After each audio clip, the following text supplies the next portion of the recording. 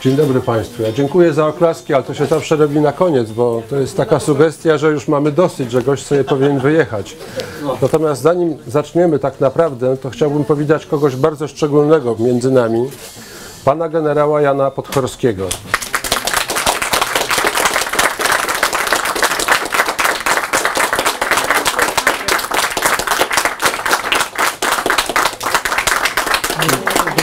Trudno mówić o gościu, bo to jest ktoś, kto powinien tu być główną osobą. Po pierwsze z Poznania, po drugie Narodowe Siły Zbrojne, udział w Powstaniu Warszawskim, powojenne komunistyczne represje, 96 lat skończone, najstarszy żyjący oficer Narodowych Sił Zbrojnych. Człowiek naprawdę niezłomny.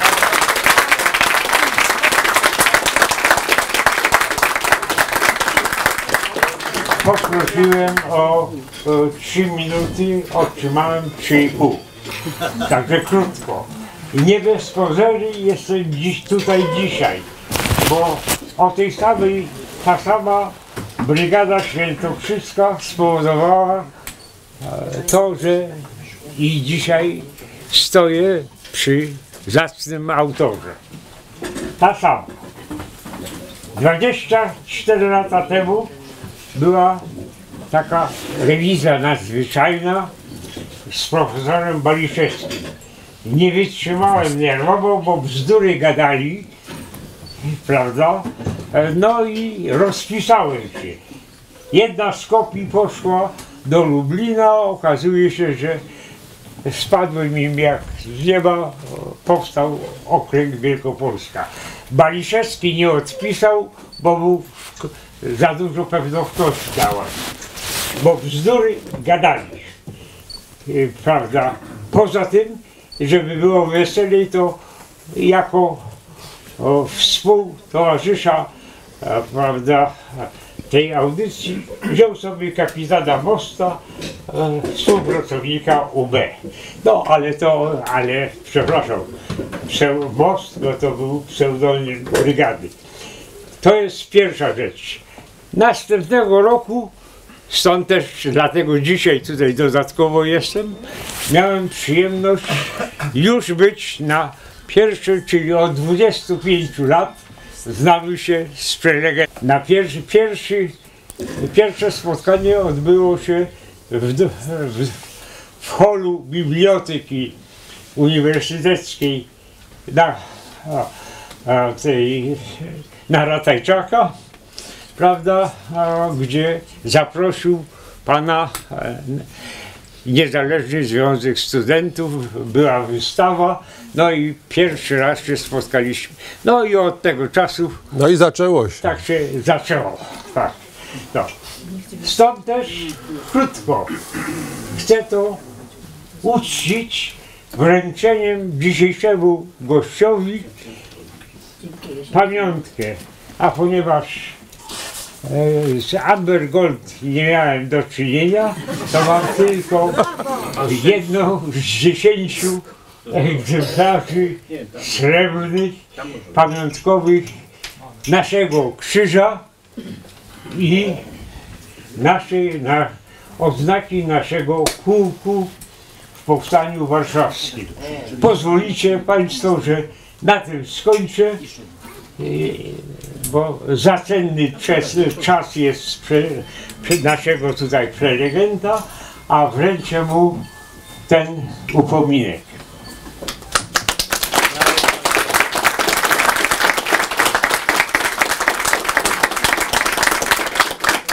A więc,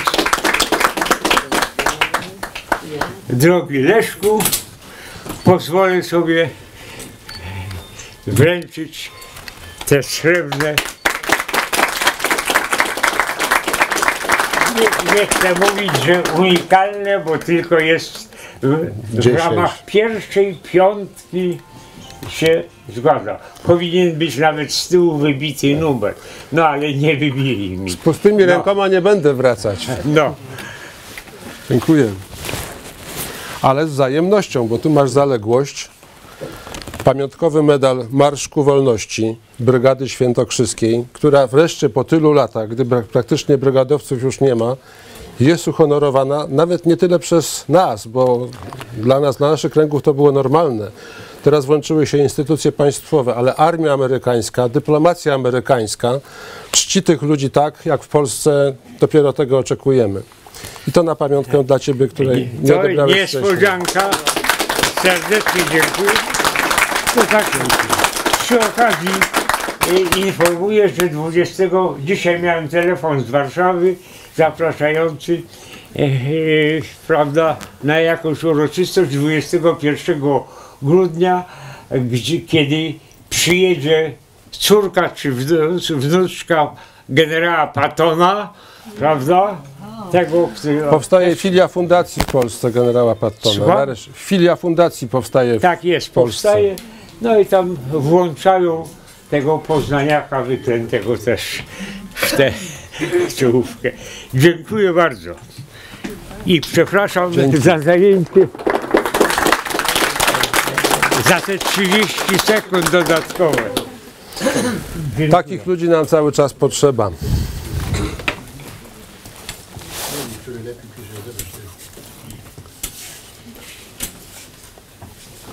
Szanowni Państwo, nasza historia jest zakłamana. To jest powszechna wiedza, nie trzeba tego udowadniać.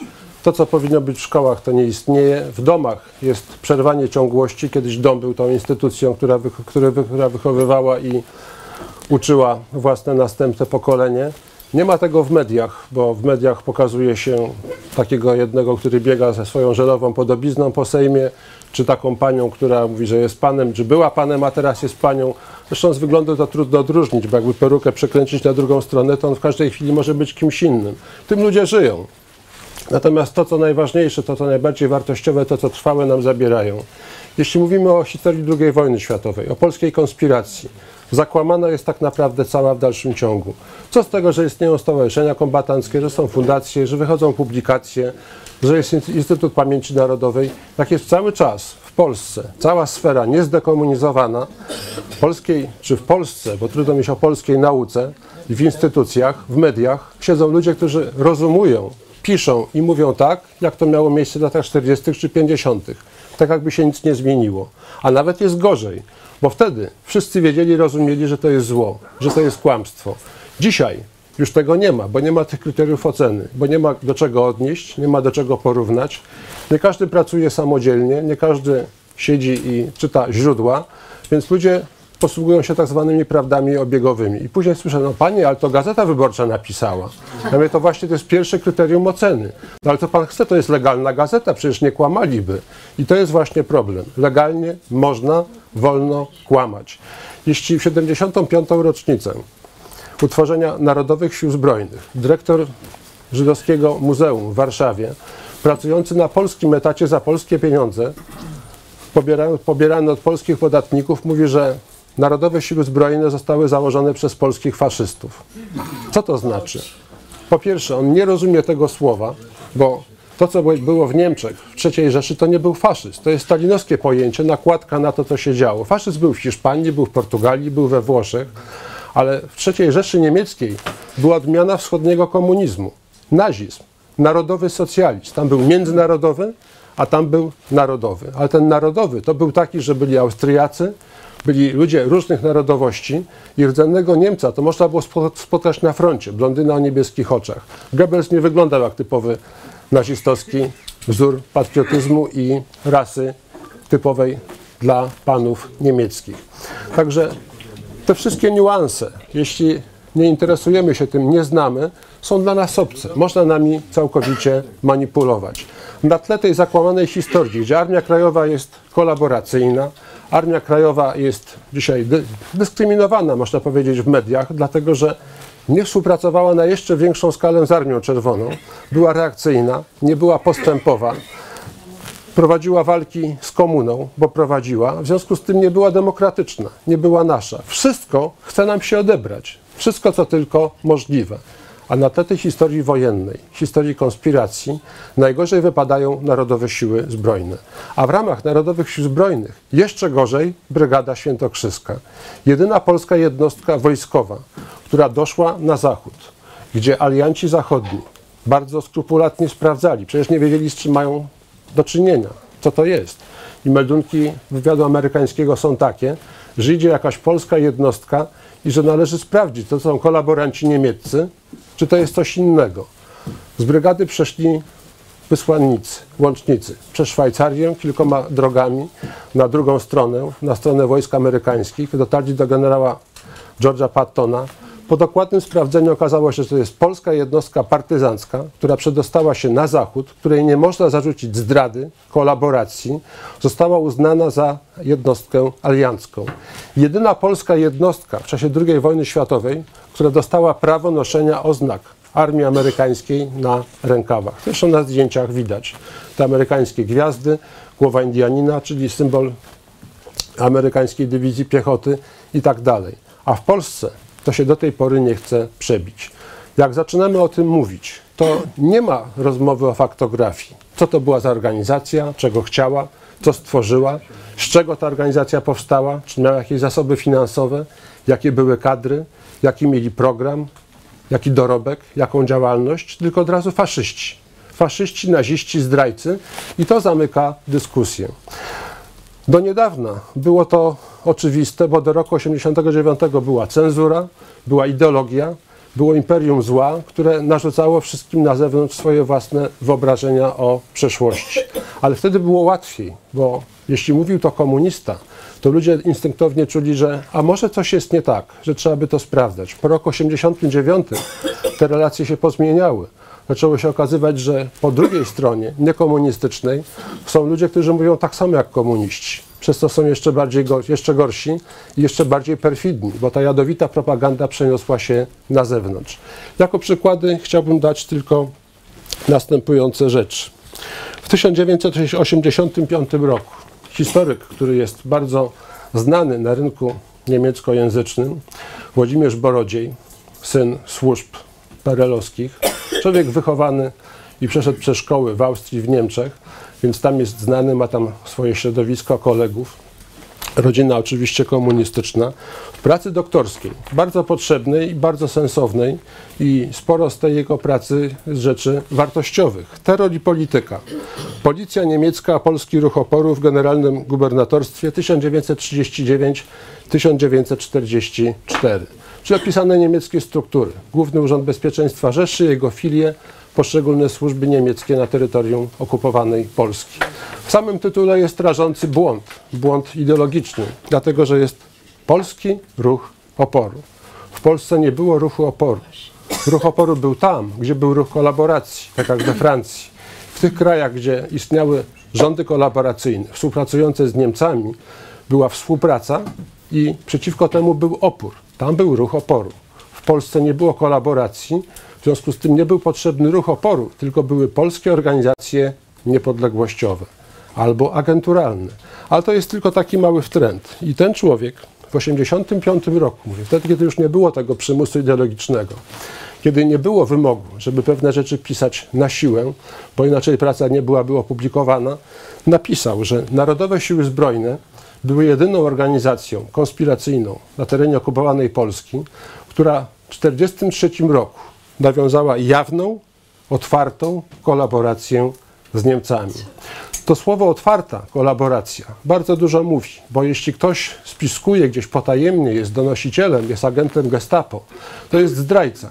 Ale my o tym nie wiemy, dopóki nie zostanie ujęty, rozpoznany, dopóki nie mamy przeciwko niemu dowodów, nie podejrzewamy go, nie możemy go oskarżać. Ale otwarta współpraca z Niemcami, to znaczy, że jednostki Narodowych Sił Zbrojnych w mundurach występują razem po stronie niemieckiej i robią to, co Niemcy, w ogóle się nie kryjąc. I tego typu insynuacje można znaleźć w publikacjach zachodnich, przede wszystkim amerykańskich. Tam to była i jest do tej pory norma. Polskie podziemie, nawet nie tyle NZ, bo oni to najmniej rozumieją te podziały, ale pokazuje się to przez pryzmat Armii Krajowej, której NZ stał się później częścią, że była to formacja na terenach Polski okupowanej, która do momentu uruchomienia przez Niemców Holokaustu. Kolaborowała z Niemcami w ten sposób, że jednostki AK stacjonowały w garnizonach niemieckich i razem urządzały rajdy w podbitym kraju. Gdy Sytuacja na froncie po klęsce stalingradzkiej na początku 1943 roku się zmieniła.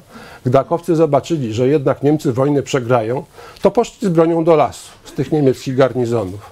Ale byli tak nienawiścią przepojeni i antysemityzmem, że jak Niemcy jeszcze gdzieś urządzali jakieś obławy przeciwko Żydom, to AK wychodziła z lasu i pomagała Niemcom.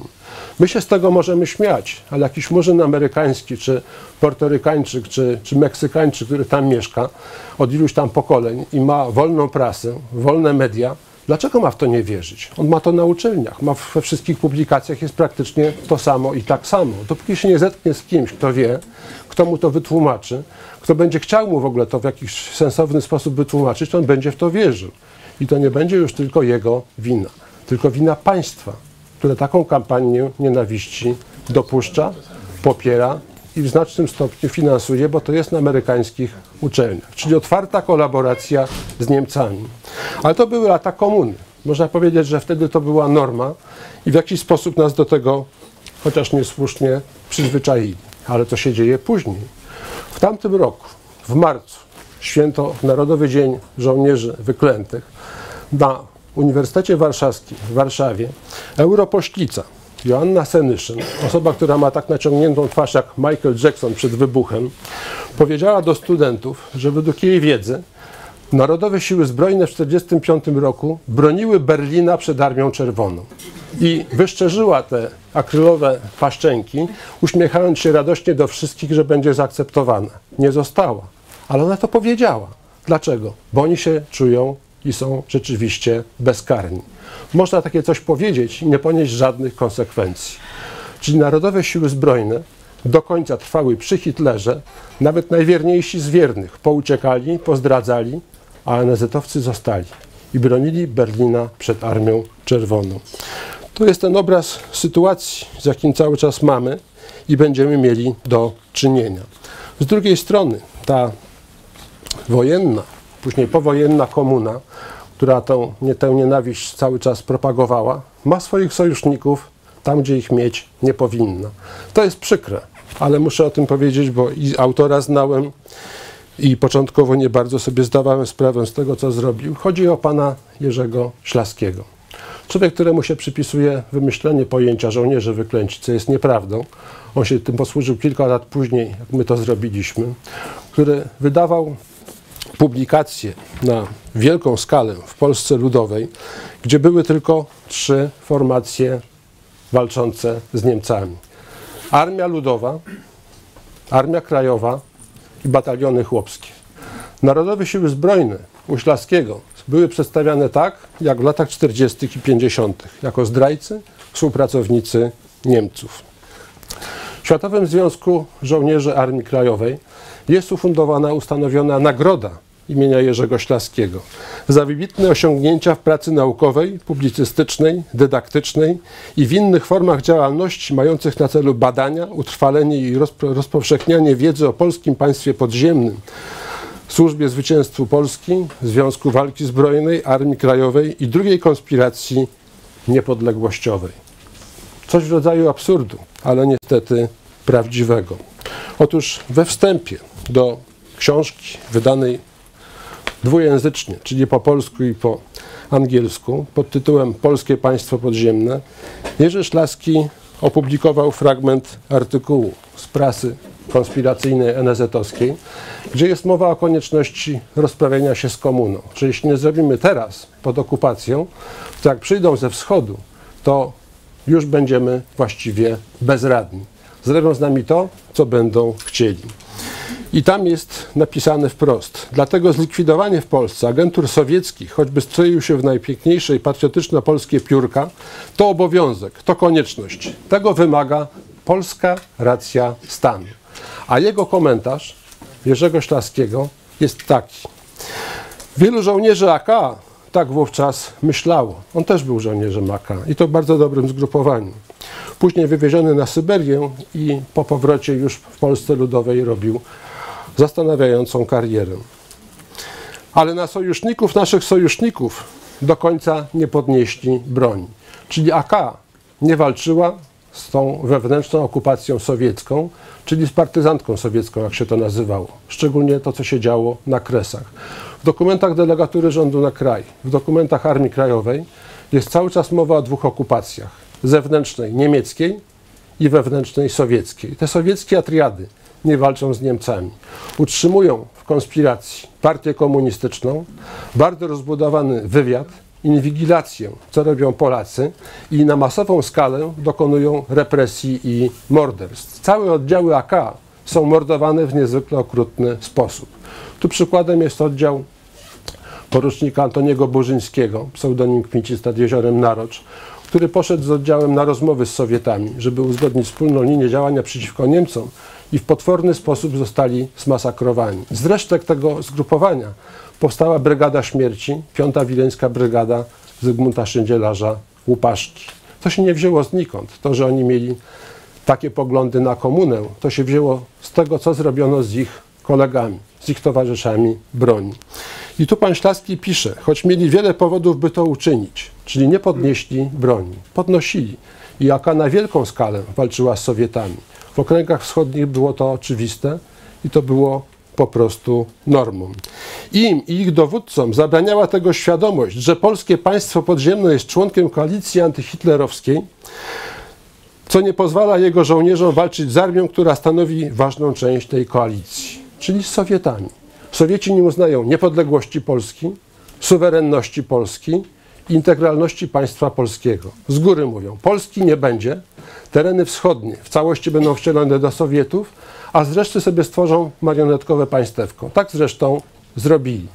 I były Akowiec legitymizuje komunę, że to był członek koalicji antyhitlerowskiej, czyli nasi alianci. Nigdy tego statusu przecież nie mieli. Dziś, po latach, taka postawa musi budzić szacunek, szczególnie wśród kadry dowódczej sił zbrojnych NATO. Ja tu się śmieję, bo kto dzisiaj jest w NATO po kilkudziesięciu latach, tak rozumuje. To są relikty myślenia naprawdę komunistycznego. Rzeczy, które nie powinny być miejsca, a są. Dlatego, żeby mówić o Narodowych Siłach Zbrojnych, w ogóle konspiracji niepodległościowej podczas II wojny, trzeba mieć na ten temat przede wszystkim wiedzę. Trzeba wiedzieć, jakie były organizacje, skąd się wzięły, jakie miały programy, jaką prowadziły działalność. Czyli faktografia jest pierwszą podstawową rzeczą. Dziś, gdy świadków historii, uczestników tej konspiracji mamy tak bardzo niewielu, których szczególnie musimy szanować. Jest to trudne, dlatego że trzeba sięgać do dokumentów, trzeba sprawdzać. To, co napisane, niekoniecznie jest prawdziwe i wielokrotnie tego daję przykłady. Musimy się uczyć sami, tak jakby od początku, od podstaw. Ale żeby o tym rozmawiać, trzeba mieć z kim. Druga strona ma prawo do swoich poglądów. Jak najbardziej. Ja bardzo lubiłbym z nimi dyskusje, gdyby one były merytoryczne, gdybyśmy mówili o konkretach, jak było. Ale tam nie ma konkretów. Tam z góry jest wszystko na nie i wszystko jest powtórzeniem stalinowskiej propagandy. Polskie faszysty, zdrajcy, agenci gestapo, którzy nawiązali jawną kolaborację z Niemcami, a Niemców to bili my, my komunisty. Jak się czyta te wszystkie opracowania komunistyczne o ich dokonaniach, to mamy bitwy, nie jakieś tam walki, potyczki, ale bitwy, gdzie jednorazowo w takiej walce ginie po stronie niemieckiej 3000 żołnierzy Wehrmachtu i SS. Nawet na froncie takich strat się nie ponosi bez powodu, bez jakichś wielkich operacji wojennych. A tu ta komuna była w stanie, czyli ci obdartusy, pospolici złodzieje, gwałciciele i mordercy byli w stanie rozgromić jednorazowo całe niemieckie dywizje, w tym także jednostki pancerne. Wysadzili wszystkie mosty, jakie w Polsce były wielokrotnie. Zniszczyli wszystkie tory kolejowe wielokrotnie i takie depesze do Moskwy wysyłali. Georgi Dymitrow, szef międzynarodówki komunistycznej, po depeszach Polskiej Partii Robotniczej, które po akcji Wieniec, akcji wykonanej przez Armię Krajową, wysadzenia naokoło Warszawy wszystkich linii kolejowych, wysłali depesze, że to było ich dzieło. I Dymitrow im odpowiada, no zuch ojcy, tak działać, tak robić, tak właśnie działajcie. Kradli wszystko, co było do ukradzenia, wymyślali rozbijania aresztów więzień, tam gdzie nie było nawet jakiejś komórki małej zamkniętej na, na kłódkę, żeby kogoś tam trzymać w małych miejscowościach. Tak jak mówię, nawet linie kolejowe wysadzali tam, gdzie ich nigdy nie było. Pamiętam mój pierwszy szok, jaki się z tym zetknąłem, był taki, że czytałem opis akcji kolejowych Gwardii Ludowej, niejakiego Bolka Bimberka, bardzo specyficzny pseudonim, bo pił więcej od Sowietów. Po wojnie major milicji obywatelskiej w Gdańsku. To nie jest śmieszne. Mordercy, złodzieje, gwałciciele robili takie kariery. I tam jest opis, że w jednym miejscu jednego dnia wysadzili trzy razy tory kolejowe. No dobrze, pierwszy raz wysadzili, to po czym przejechały te następne pociągi? Tego się w ciągu kilku, dwóch, trzech godzin nie da odbudować. To na ogół trwa. A trzeci raz i zacząłem sprawdzać na mapie, a tam nie ma linii kolejowej. Są zaznaczone bagna. Dzwonię do Okręgowej Dyrekcji Kolei Państwowych w Lublinie i mówię, że w czasie okupacji tam była jakaś linia kolejowa, czy są jakieś ślady, jakieś zniszczenia, może jakieś meldunki niemieckie. Panie, tam nie ma i nie było żadnej linii kolejowej i nie będzie, bo to są bagna i tam nikt nie mieszka. Ale w historiografii komunistycznej takie coś mogło zaistnieć. I rzeczywiście zaistniało. Komuniści, żeby móc czymś się posłużyć jako argumentem, co robią, kradli wszystkim innym ich własne dokonania. Czyli największe walki Narodowych Sił Zbrojnych, największe osiągnięcia, likwidacja generała Kurta Rennera. To jest jedyna, tego, jedna z dwóch tego typu akcji w polskim podziemiu. Dwóch najwyższych oficerów niemieckich zlikwidowanych przez polskie podziemie to było dzieło sił podziemia narodowego. 26 sierpnia 1943 roku oddział wachmistrza Tomasza Wójcika, pseudonim Tarzan, zlikwidował niemieckiego generała, dowódcę 174 Dywizji Piechoty Wehrmachtu razem ze sztabem i z ochroną. Akcja wykonana bez strat własnych. Okoliczna ludność została powiadomiona, że mają mówić, że w nocy był zrzut sowiecki, chodzili Sowieci, zabierali żywność, bili, a później poszli tam, tam było słychać strzały i gdzieś tam uciekli w tamtą stronę. To jest w meldunkach niemieckich, że sowiecki zrzut, dywersanci zabili naszego generała, akcja pościgowa trwa. Komuna z tego zrobiła własną akcję. Major UB Stefan Skwarek, szef UB w Radomiu, napisał na uczelni, której wykładowcą był innymi towarzysz dr Leszek Balcerowicz, czyli Wyższa Szkoła Nauk Społecznych przy KCPZPR, napisał rozprawę doktorską, historyczną. Uwłaszczył się na tytule naukowym i przez pewien czas tego typu działalność propagandową prowadził. I on wymyślił, że to rodzina Skwarków zrobiła. Fela Skwarek, Skwarek leżała w rowie, Ziuta Skwarek siedziała na drzewie, Maciek Skwarek był w wykopanym jakimś tam dołku, inne skwarki strzelały za węgła we wszystkie możliwe strony i tak wzięli tego generała, ubili i tych wszystkich Niemców ubili i ta akcja była ich. Tego typu publikacje były w pracach uważanych w Polsce Ludowej za naukowe. Kradli inne osiągnięcia. Tu nie ma czasu na porównywanie tych dwóch nie mówię organizacji, bo trudno mówić organizacji komunistycznej, konspiracji komunistycznej, tego co zrobili, bo tam jest przede wszystkim zbrodnia, gwałty i masowe rabunki. Najczęściej zdobywaną rzeczą przez komunę jest świnia, a zlikwidowana likwidacja w dokumentach komunistycznych oznacza likwidację garderoby. Czyli jak idą do kogoś, zabierają mu całość ubrań, to nazywa się to likwidacją kapotu, kalesonu, fonuców, butów i tak po kolei. I to jest ten właśnie język specyficzny, którym się posługiwali. Złodziejski, bandycki język. A uczestnicy tych akcji są bandytami. I tak są w tych meldunkach komunistycznych nazywani. Czterech naszych towarzyszy, dziesięciu bandytów, poszli na wieś i zdobyli im świniu. I świniu później trzy dni jedzą.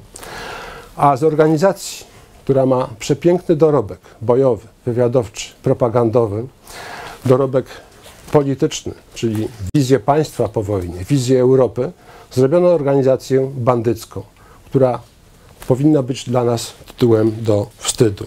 Zobaczmy, czego mamy się wstydzić. Zaplecze polityczne Narodowych Sił Zbrojnych, intelektualiści, którzy są w tym zapleczu, najprzedniejsze polskie nazwiska polskiej nauki. Profesor filozof, jeden z najwybitniejszych filozofów pierwszej połowy XX wieku, zamordowany w Powstaniu Warszawskim, ksiądz profesor Jan Salamucha, polski Tatar, Profesor Bolesław Sobociński, ostatni chyba przedstawiciel najwybitniejszej polskiej szkoły logiczno-matematycznej z Lwowa, później filia warszawska. Profesor Ludwik Jaksa-Bykowski, wybitny polski wychowawca, zamordowany po wojnie w więzieniu. Profesor Karol Stojanowski, antropolog.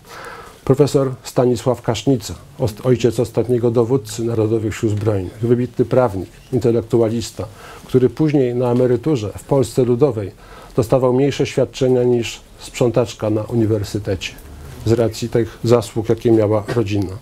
Profesor Seweryn Dziubałtowski, człowiek, który był w tymczasowej Narodowej Radzie Politycznej, także zginął w Powstaniu Warszawskim. To są tylko niektóre nazwiska.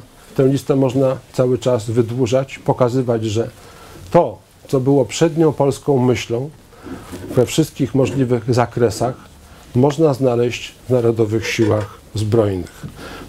Przez tę nazwę Narodowe Siły Zbrojne rozumiemy coś więcej niż tą formację czysto wojskową, bo to jest cały obóz wojskowo-polityczny, cała formacja. Jest piąt czysto zbrojny, Narodowe Siły Zbrojne, jest piąt cywilny, czyli próba budowy administracji państwowej na przyszłość, to co ma być po powstaniu powszechnym uruchomione, czyli służba cywilna narodu, próba budowy nowej formacji politycznej, która zjednoczy tych ludzi, którzy po wojnie mają pracować propaństwowo. Nie partyjniactwo, czyli my mamy swój program, wy macie swój, startujemy w wyborach, zdobywamy te ułamki i później albo się korumpujemy, budujemy jakąś koalicję, albo jesteśmy przeciwko sobie. Nie. To jest próba jednoczenia ludzi na zupełnie innej płaszczyźnie. Obóz narodowy, tak to się nazywało. I tam są polscy narodowcy, jest oczywiście najwięcej, ale są ludzie o poglądach zwanych niesłusznie demokratycznymi, o poglądach konserwatywnych. Są także polscy niepodległościowi socjaliści, czyli ci wszyscy, którzy dobro kraju, dobro państwa stawiają ponad dobro partyjne i chcą dla państwa pracować. Zaplecze, jakie ci ludzie stworzyli, grupy środowiskowe, prezentowało później ten ich dorobek także w Polsce Ludowej. Jeden tylko przykład. Profesor Bolesław Krupiński, twórca potęgi polskiego węgla. To dzisiaj jest kopalnia jego imienia. To jest działacz służby cywilnej narodu, Narodowych Sił Zbrojnych. Tego właśnie zaplecza. Nie wiedząc tego wszystkiego, zapominając, oddając od razu pole bez walki, natychmiast przegrywamy. Musimy to wiedzieć. Czyli nad tym wszystkim, tymi głównymi pionami, jest tymczasowa Narodowa Rada Polityczna, taki quasi podziemny, bardzo ułomny parlament. Ciało 40-osobowe, które na co dzień nie może zbierać się, podejmować decyzji, bo w warunkach konspiracji jest to zbyt trudne. Więc wyłonione zostało ośmioosobowe prezydium. W tym gronie to ciało obraduje praktycznie codziennie. Na czele prezydium Tymczasowej Narodowej Rady Politycznej stoi najmłodszy przedwojenny poseł Rzeczpospolitej Polskiej, wybitny prawnik, jak się później okazało, prawdziwy polski, jeden z ostatnich, mąż stanu, człowiek, który zmarł na emigracji, doradca rządów państw zachodnich do powstrzymywania, zwalczania komunizmu w świecie, bardziej znany tam niż w Polsce, także z publikacji, które po sobie zostawił. Zbigniew Stypułkowski. I tu rzecz bardzo ciekawa, charakterystyczna. Zbigniew Stypułkowski był ożeniony z wnuczką profesora Aleksandra Krauschara, wybitnego polskiego historyka żydowskiego. Czyli jego syn, Andrzej, ich syn, młodociany żołnierz Narodowych Sił Zbrojnych, uczestnik Powstania Warszawskiego, jest według przepisów prawa żydowskiego, religijnego, czystym Żydem, bo po matce. Czyli na czele formacji, której zarzuca się antysemityzm, stoi ktoś taki, o takich związkach rodzinnych. I wszyscy o tym wiedzą. Nikt go nie otrąca, nikt mu tego nie wytyka, nikt tego nie wyszydza. Dlaczego? Bo to są Polacy. Pojęcie Polaka wtedy było zupełnie inne niż nam się to próbuje wmówić. Nie było czegoś takiego jak polski nacjonalizm.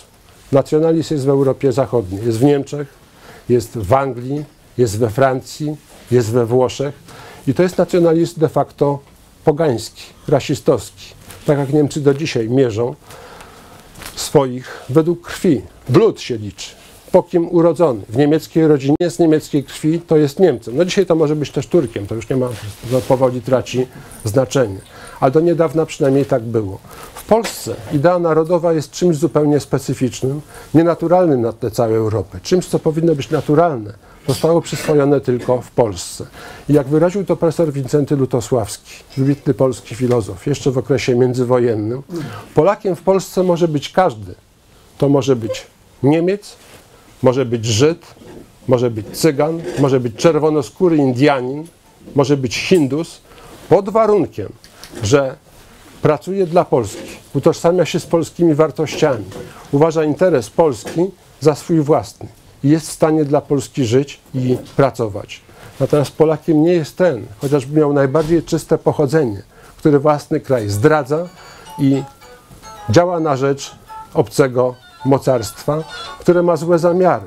W tej wykładni Bolesław Bierut, który był polskiego pochodzenia, nie jest Polakiem. Władysław Gomułka, według takiej wykładni, nie jest Polakiem, bo to są zdrajcy, to są sowieccy obywatele, którzy jeszcze przed wojną przyjęli sowieckie obywatelstwo, czyli wyrzekli się polskości jako takiej. I ówczesny kodeks karny był taki, że za to, gdyby to było ujawnione, groziły bardzo poważne represje. A za zdradę, za szpiegostwo na rzecz Sowietów, to była kara śmierci. I także w, tym, w tej wykładni nie byłby człowiek, który miał bardzo dobre polskie pochodzenie. Wojciech Jaruzelski, który także Polskę zdradził. Bo przystępując do komunistów, stojąc po ich stronie, przestawał być Polakiem. Nominalnie tak, ale nie mierzenie tego według krwi, tylko według wyboru, jakiego dokonujemy, jest czymś zupełnie innym w całej Europie na tego, co się działo. W związku z tym nie ma w Polsce nacjonalizmu typu zachodniego, nacjonalizmu pogańskiego, że możesz być też katolikiem, może być jak, jak najbardziej wartościowym, wierzącym człowiekiem, ale ty nie jesteś Polakiem, bo ty masz ciemniejszą skórę albo masz nie takie nazwisko. W Polsce takich podziałów nie było. Na szczęście. Do tego wszystkiego trzeba powoli wracać. Mówiąc o tych nurtach ludzi różnych narodowości w Narodowych Siłach Zbrojnych, warto przypomnieć tych ciekawszych, ważniejszych, żeby mieć argumenty w rozmowach z idiotami, bo jak ich inaczej nazwać.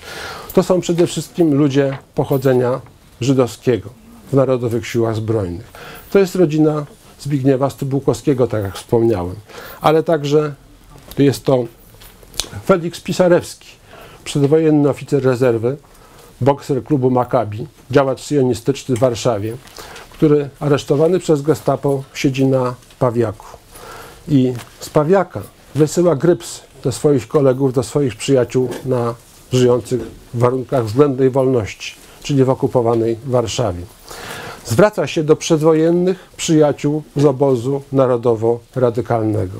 Śledztwo przeciwko niemu się kończy. On sobie zdaje sprawę, że dni jego są policzone. I on ich prosi, jeśli możecie, to spróbujcie mnie uwolnić. 42 rok, październik, kiedy to ma miejsce, to jest okres, kiedy Niemcy są u szczytu potęgi. Nie boją się. To nie ma jeszcze tych konwojów uzbrojonych, wielu ciężarówek. Jeżdżą otwartymi samochodami. Wiozą sobie Niemca jak na spacer. Z Pawiaka Walejenszucha na kolejne śledztwo, kolejne tortury. Koledzy, którzy ten gryps dostali, taką akcję zorganizowali. Porucznik Jankowski, pseudonim Zacharewicz, zorganizował taką akcję bezkrwawą i w miejscu, gdzie dzisiaj jest Plac Konstytucji w Warszawie, wówczas na ulicy Świętego Piusa, dokonali nad Niemców zasadzki. Samochód musiał zwolnić, musiał zakręcić. Oni wypadli w niemieckich mundurach, rozbroili Niemców, kompletnie zaskoczonych, zabrali im broń, dokumenty i mundury, zabrali więźnia i Niemców zostawili. Dlaczego? Żeby nie było represji, bo za każdego zabitego Niemca byłoby 100, może 150 polskich ofiar. To byłoby bez sensu. Ta akcja się udała.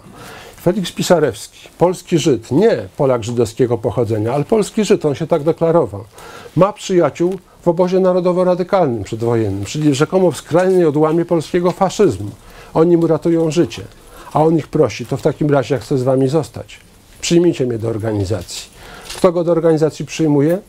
Kapitan Andrzej Komorowski, bratanek generała Tadeusza Komorowskiego-Bora, dowódcy Armii Krajowej, działacz ONR-u w Warszawie, później w Krakowie. To są te polskie losy, o których tak mało wiemy, a powinniśmy wiedzieć dużo więcej. I Felix Pisarewski jest przyjęty, dostaje specyficzną funkcję, bardzo wysoką w organizacji. Jest oficerem do spraw specjalnych zleceń w Komendzie Okręgu numer 1, czyli Komendzie Okręgu Warszawa Narodowych Sił Zbrojnych. Kto z Państwa oglądał stawkę większą niż życie? No. Czy jest ktoś, kto by się przyznał, że nie? Wszyscy oglądaliśmy, to idzie cały czas wielokrotnie. Jednym z reżyserów tego serialu był Marian Konic. Tak? Kapral Zawisza Narodowych Sił Zbrojnych.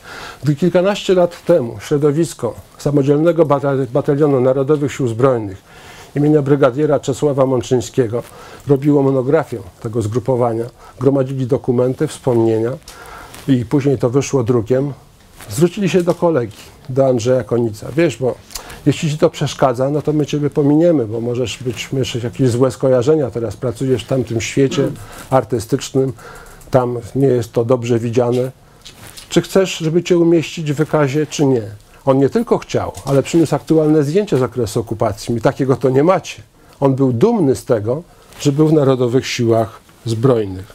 Wybitny polski rzeźbiarz, porucznik Józef Makowski, porucznik w czasie okupacji, porucznik Wojska Polskiego w zgrupowaniu Brygady Dyspozycyjnej Zmotoryzowanej Koło na Starym Mieście, później w Śródmieściu Powstaniu Warszawskim. Oficer Narodowych Sił Zbrojnych. Alfons Krysiński, jeszcze z Legionów Polskich, Peowiak. Później działacz Służby Cywilnej Narodu, szef SCN-u na powiat końskie. Eliach Szancer, Dzik, pseudonim Dzik, żołnierz zgrupowania majora Zęba, polski Żyd, który zginął w tym zgrupowaniu, jako polski żołnierz Narodowych Sił Zbrojnych. Doktor Julian Kamiński, pseudonim Migoń, lekarz, żołnierz zgrupowania Władysława Kołacińskiego Żbika, kapitana Żbika. Był w AK, ale z AK przeszedł do NZ-u. I co? Groziło mu coś? Stało mu się coś? Ktoś mu krzywdę zrobił? Odszedł do działu dopiero wtedy, kiedy w walce stracił rękę. Był już całkowicie niesprawny. Odszedł na placówki konspiracyjne Narodowych Sił Zbrojnych. Wojnę przeżył. Jerzy Żmidrygier Konopka, uczestnik Powstania Warszawskiego. Czy pan Wiktor Natanson, który jeszcze żyje. Polscy Żydzi w Narodowych Siłach Zbrojnych. Znowu można wymieniać dziesiątkami nazwiska, funkcje, pseudonimy, co robili. Dlaczego tej wiedzy nie ma nigdzie? A ten, który powinien być najbardziej sławny spośród nich, Szmul Ostwind, major Narodowych Sił Zbrojnych, czyli Stanisław Ostwind, bohater wojny 20 roku, wtedy jeszcze czysty Żyd, religijny, wtedy jeszcze jako Szmul, nie Stanisław. Później w latach dwudziestych przyjął katolicyzm, spolszczył się, zmienił imię na Stanisław, ale z racji bardzo charakterystycznego wyglądu, obrzezania tego rytualnego, ograniczone możliwości ukrywania się, poruszania, został przechowany przez kogo? Przez Narodowe Siły Zbrojne. Ale on kipiał energią. On był przed wojną oficerem policji, wyższym oficerem policji do spraw zwalczania komuny w Warszawie. I nie chciał tych zdolności marnować. Stanął w szeregach Narodowych Sił Zbrojnych. I wreszcie otrzymał bardzo wysoką funkcję. Komendant powiatu Węgrów w okręgu 12 Podlasie. Gdy w styczniu 1945 roku, pół roku już po wejściu Armii Czerwonej na te tereny, został aresztowany przez NKWD, szybko został rozpoznany. Ustalili jego tożsamość. No i mówią, toż ty Jewrej, to ty nasz. To ty tu wydasz wszystkich, o których wiesz, a my o tobie wiemy, co ty tu wiesz, to ty będziesz nasz, to ty w NKWD ty karierę zrobisz, nawet generałem możesz zostać. On ja złożyłem przysięgę. Ja nie mogę. Jak to przysięgę? A naplewać na taką przysięgę. U nas złożysz lepszą, NKWD-owską. On tej oferty nie przyjął. Po bardzo intensywnym śledztwie, które trwało zaledwie miesiąc, w lutym 1945 roku został zamordowany. Czy są ulice jego imienia, jakieś pomniki, wzmianki w podręcznikach?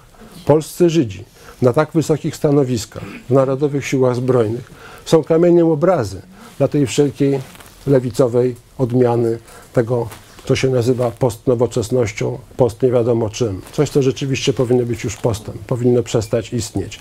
Oni tego nie zaakceptują, bo to jest niemożliwe.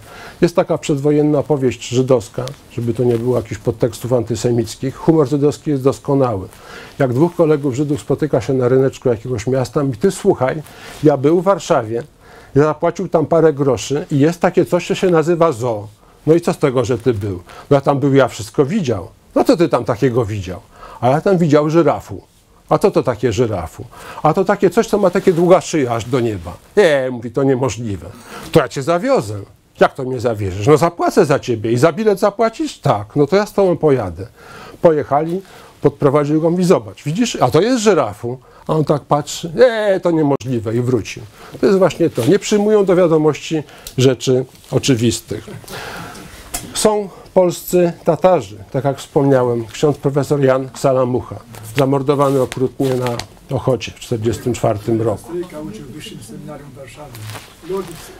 Wybitny, naprawdę wybitny polski uczony, zapomniany także w kręgach uczonych, bo nie pasuje do tego obrazu. Polski Tatar. Jego nazwisko znaczy po tatarsku zacierka.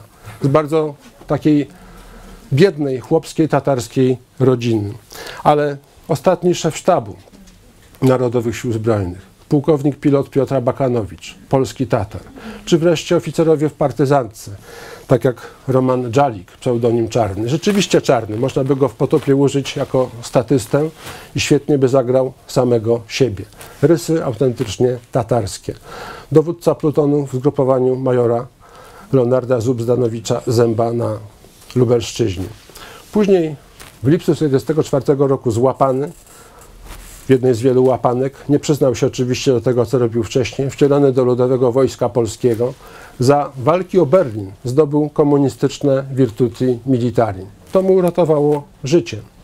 I gdy w 1992 roku była jego rozprawa rehabilitacyjna, bo wreszcie został namierzony, rozpoznany, dostał karę śmierci, ale przez to, że miał virtuti, virtuti za Berlin, zamienili mu na dożywocie. Wyrok stalinowski, wyrok komunistyczny. W jaki sposób można było zrozumieć, z kim mieliśmy do czynienia i co się dzieje w Nowej Polsce, w III Rzeczpospolitej, po pierwszej dobrej zmianie. Mamy komunistyczny czy postkomunistyczny sąd, który w 1992 roku zajmuje się sprawą pana Romana Dżalika. Byłem jedyną osobą poza nim na sali i składem sędziowskim. On mnie poprosił, mówi, jeśli pan może, niech pan ze mną pójdzie, ja się jakoś tak nieswojo czuję. Ja to jest prosta sprawa. Pan ma sprawę załatwioną praktycznie od ręki.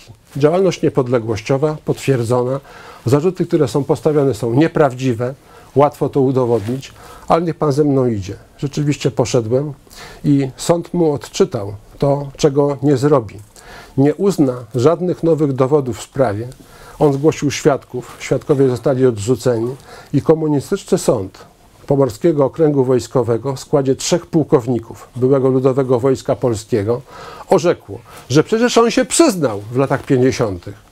W związku z tym, że się przyznał, to sąd nie będzie prowadził nowego postępowania dowodowego i uznał go powtórnie jako winnego. On wtedy nie wytrzymał. Wstał na sali, rozdarł koszulę, pokazał wklepane żebra do środka, wgniecione kopniakami i mówi do nich, wy katyniowcy, ja wytrzymałem 7 miesięcy, nie mówiłem, a później to ja już pewnie mówiłem wszystko, tylko ja już nic nie pamiętam, bo byłem w Malignie.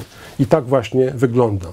Milczeć, z sali, wyprowadzimy, to jest obraza sądu. Mówi, obrazić to wy mnie obraziliście. Jeszcze mu napisali w uzasadnieniu, że nie wiadomo po której stronie on walczył podczas okupacji, bo państwo polskie się przewaliło, w związku z tym go nie było. Więc co on właściwie podczas okupacji robił? Takie były te nowe realia, z którymi ci ludzie się zdarzyli. Są biali Rosjanie w Narodowych Siłach Zbrojnych, są Białorusini. Akurat nie spotkałem Ukraińców, może to i dobrze, ale pewnie jacyś tam polscy Ukraińcy, polscy czy patrioci polskiego państwa pewnie by się zdarzyli. Są ludzie wielu narodowości, około 30 narodowości. Pojedyncze przypadki to są Anglicy, Belgowie, Holendrzy, którzy zbiegli z obozów jenieckich trafiają do Narodowych Sił Zbrojnych. Wszyscy są przyjęci, wszyscy gdzieś działają. Większość z nich przeżyła. Jest multikulti, można powiedzieć, w tym zdrowym, normalnym, europejskim sensie. Tych ludzi jednoczyło coś więcej. Walka o wolność, walka o godność człowieka. Mieli do tego prawo i z tego prawa oczywiście korzystali. Jest bardzo wielu ludzi niemieckiego pochodzenia, ludzi, którzy po samych nazwiskach można oceniać, że taka komuna mogła ich klasyfikować jako Niemców, jako zdrajców. Najwybitniejsi polscy patrioci. I oni są współtwórcami w znacznej części programu zachodniego Narodowych Sił Zbrojnych, programu politycznego, który jest ewenementem jak na tamte czasy. Jest to program jest głoszony jeszcze przed wojną, w ostatnich latach przed II wojną światową, w stronnictwie narodowym, w obozie narodowo-radykalnym, ale podczas okupacji ten program najbardziej jest rozwinięty w Narodowych Siłach Zbrojnych. Pan doktor Rafał Sierchuła napisał fantastyczną pracę doktorską o człowieku stąd, o majorze Lechu Karolu Neymanie, poznańskim prawniku, zamordowanym razem ze Stanisławem Kasznicą, jednym ze współtwórców tego programu. I to, co jest bardzo charakterystyczne wśród tych ludzi, że czterech głównych ideologów, których znamy z imion, nazwisk, z funkcji, ma niemieckie nazwiska. Trzech z czterech mają niemieckie pochodzenie. Lech Karol Neyman, typowo polskie nazwisko, Neyman, to jest porucznik Jan Lilpop, pseudonim Jan Rawicz, tej rodziny Lipopów, przemysłowców niemieckich. Takich Polaków jak wtedy trudno byłoby znaleźć ich odpowiedniki. Tak dobrych Polaków niepolskiego pochodzenia. Ten straszny polski nacjonalizm. Antoni Gerne z Poznania, prawnik, ewangelik. Nie, Polska dla Polaków, Polska dla katolików, dla wszystkich. Twoje wyznanie jest Twoją sprawą. Jeśli deklarujesz chęć pracy dla Polski, jeśli nie zwalczasz tego, co jest nam bliskie, drogie, to jesteś nasz i jesteś z nami. Tylko jeden z nich miał czysto polskie nazwisko i czysto polskie pochodzenie. Profesor, wybitny antropolog Karol Stojanowski. Oni stworzyli program zachodni. Oczywiście on jest rozwijany przez kilkadziesiąt innych osób. Wychodzą książki, broszury, referaty. To się nagłaśnia w prasie konspiracyjnej tego obozu, w licznych artykułach, w różnego rodzaju materiałach szkoleniowych. Ale oni są autorami publikacji książkowych, bo takie w konspiracji na dużą skalę wychodziły. I najdobitniej sformułował to właśnie major Lech Karol Neyman, twórca pojęcia polski cel wojny. W październiku 1942 roku, na samym początku, gdy zaczęły funkcjonować Narodowe Siły Zbrojne, on jako redaktor organu dowództwa Narodowych Sił Zbrojnych, miesięcznika, dwutygodnika pod nazwą Naród i Wojsko, sformułował tak zwany narodowy cel wojny.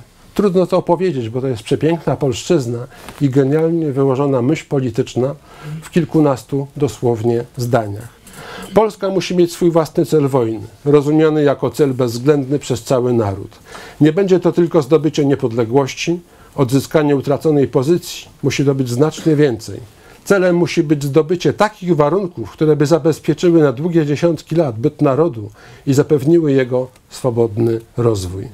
Naród niemiecki, sprawca wszystkich wojen grabieżczych od trzech ćwierćwieczy, winien, osławiony niezwykle okrutnym prowadzeniem tych wojen, winien na koniec ulec przykładnej karze. Winien być pozbawiony wszystkich zaborów dokonanych przez tysiąclecie i być w pełni rozbrojony. Winien wreszcie dostać się pod dłuższą kontrolę swych kulturalnych sąsiadów. Strefy okupacyjne w Niemczech po wojnie, po 1945 roku. On trzy lata wcześniej o tym pisze, mówi, gdy jeszcze aliantom nie śniło się coś takiego, że coś takiego będzie na konferencji pokojowej w Poczdamie. Wizjoner polityczny. To wszystko dopiero zapewni Europie upragniony i niezbędny pokój na czas dłuższy. Jednym z fundamentalnych warunków trwałego rozbrojenia Niemiec i trwałego pokoju w Europie jest uzyskanie przez Polskę na zachodzie Odry, linii Odry i Nysy Łużyckiej z lewymi ich brzegami, co wraz z czeskimi Sudetami stworzyłoby potężny szaniec obronny. Bezwzględnym obowiązkiem narodu polskiego jest prowadzenie wojny z Niemcami aż do pełnego zwycięstwa, aż armia nasza stanie na szańcu Bolesławów, aż polski sztandar zawiśnie w okupowanym Berlinie, a maszyny niemieckie zaczną pracować dla naszej potęgi. To stanowi nasz narodowy cel wojny. To nie jest tylko odzyskanie niepodległości. O tym mówili wszyscy. Ale co dalej? Jak ta Polska ma wyglądać? Co z tego, że niepodległa? Jak będzie wyglądała terytorialnie, politycznie? Jaki będzie ustrój wewnętrzny? Jakie będą sojusze, orientacje polityczne? Oni to wszystko przewidywali. To stanowi nasz narodowy cel wojny. Walkę tę musimy prowadzić, choćby Zachód spoczął na laurach, choćbyśmy pozostali sami, bezwzględnie, fanatycznie, bo chodzić nie będzie o całą naszą przyszłość i wielkość, o wieki całe. Ten człowiek został zamordowany po wojnie. między innymi pod zarzutem współpracy z Niemcami. I z tego wszystkiego zostaje tylko ten zarzut. Tego, o czym tu mówię, nie ma. Tylko polscy faszyści, polscy nacjonaliści, zdrajcy, którzy nawiązali otwartą kolaborację z Niemcami. Tak to wygląda. Najbardziej antyniemiecki program, jaki jest, to są oni. Program zmian wewnętrznych, ustroju politycznego, ustroju gospodarczego, reformy rolnej. Oni o tym wszystkim mówili, pisali, wychodziły broszury, wychodziły książki, przygotowywali ludzi na te zmiany. Nikt tego nie miał. Ostatnia wolna polska myśl jest w Narodowych Siłach Zbrojnych. Później, gdy zostali już wymordowani, gdy po nich przez kilkadziesiąt lat nie było nic, jest pustka intelektualna. I na tle tej organizacji, na tle tej formacji także umysłowo-politycznej widać jaka była nędza w innych orientacjach politycznych. Socjaliści niepodległościowi mówią o Polsce socjalistycznej, mówią o dyktaturze proletariatu. Oni tego nie rozumieją wprost tak jak u Stalina, ale im się to podoba. Taki program głoszą.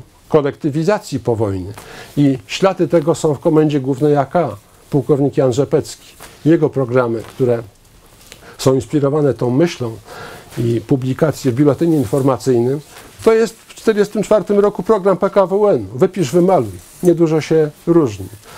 Chłopi, stronnictwo ludowe, chce Polski ludowej, Polski klasowej. Nie Polska dla Polaków, Polska dla chłopów. To dopiero będzie Polska. Czyli nędza intelektualna na tle ludzi, którzy zostali, zostali tak naprawdę wdeptani w ziemię. A my tego mamy wszystkiego nie wiedzieć. I wreszcie wielki dorobek także myśli politycznej tej formacji, polegający na koncepcji stworzenia po wojnie Unii państw Europy Środkowo-Wschodniej.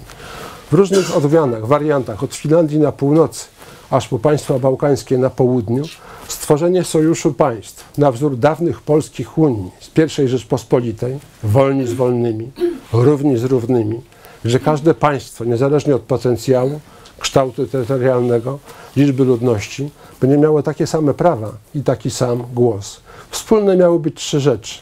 Polityka obronna, militarna, polityka gospodarcza, żeby nie powielać tego samego w różnych krajach, a o czymś nie zapomnieć, i polityka zagraniczna, czyli stanowimy jednolity organizm na zewnątrz.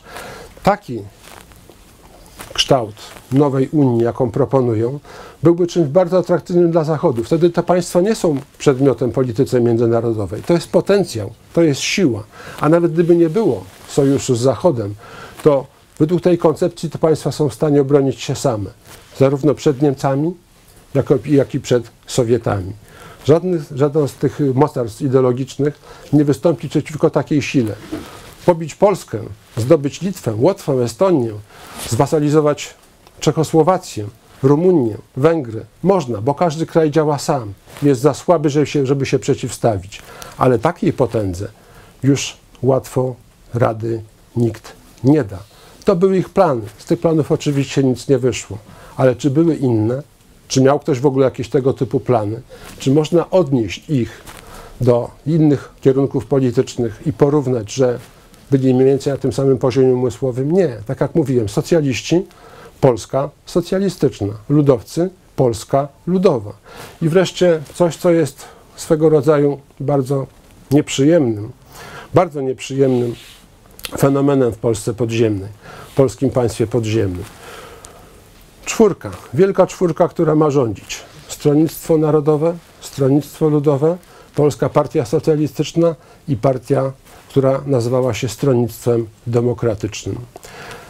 Równe prawa Wielkiej Czwórki. Nie dopuszczano innych. Na przykład obóz narodowo-radykalny jest całkowicie wykluczony. Wiele różnych mniejszych organizacji, chadeckich, chrześcijańskich, nie jest dopuszczonych. A stronnictwo demokratyczne jest równoprawnym członem tej formacji i należy do przywództwa polskiego państwa podziemnego. Trudno było ten fenomen zrozumieć bez wiedzy, skąd się Stronnictwo Narodowe wzięło. W 1938 roku Komunistyczna Partia Polski i jej przebudówki, czyli zachodniej Ukrainy, zachodniej Białorusi, zostały przez Stalina rozpędzone, rozwiązane. Duża część kadry została ściągnięta do Moskwy i wybita. Ale ci, którzy zostają, mają nakaz działania pod przykrywkami, tworzenia nowych organizacji. I co się dzieje? Szloma Goldberg, czyli Jerzy Borejsza po wojnie, dyktator propagandowy, tworzy stronnictwo demokratyczne. Początkowo to są kluby demokratyczne, a później stronnictwo demokratyczne, które są później, po 1944 roku, cały czas podporą w Polsce Ludowej dla panowania komunistów, PPR-u i PZPR-u aż do samego końca. To jest właśnie ta agentura sowiecka w strukturach polskich niepodległościowców.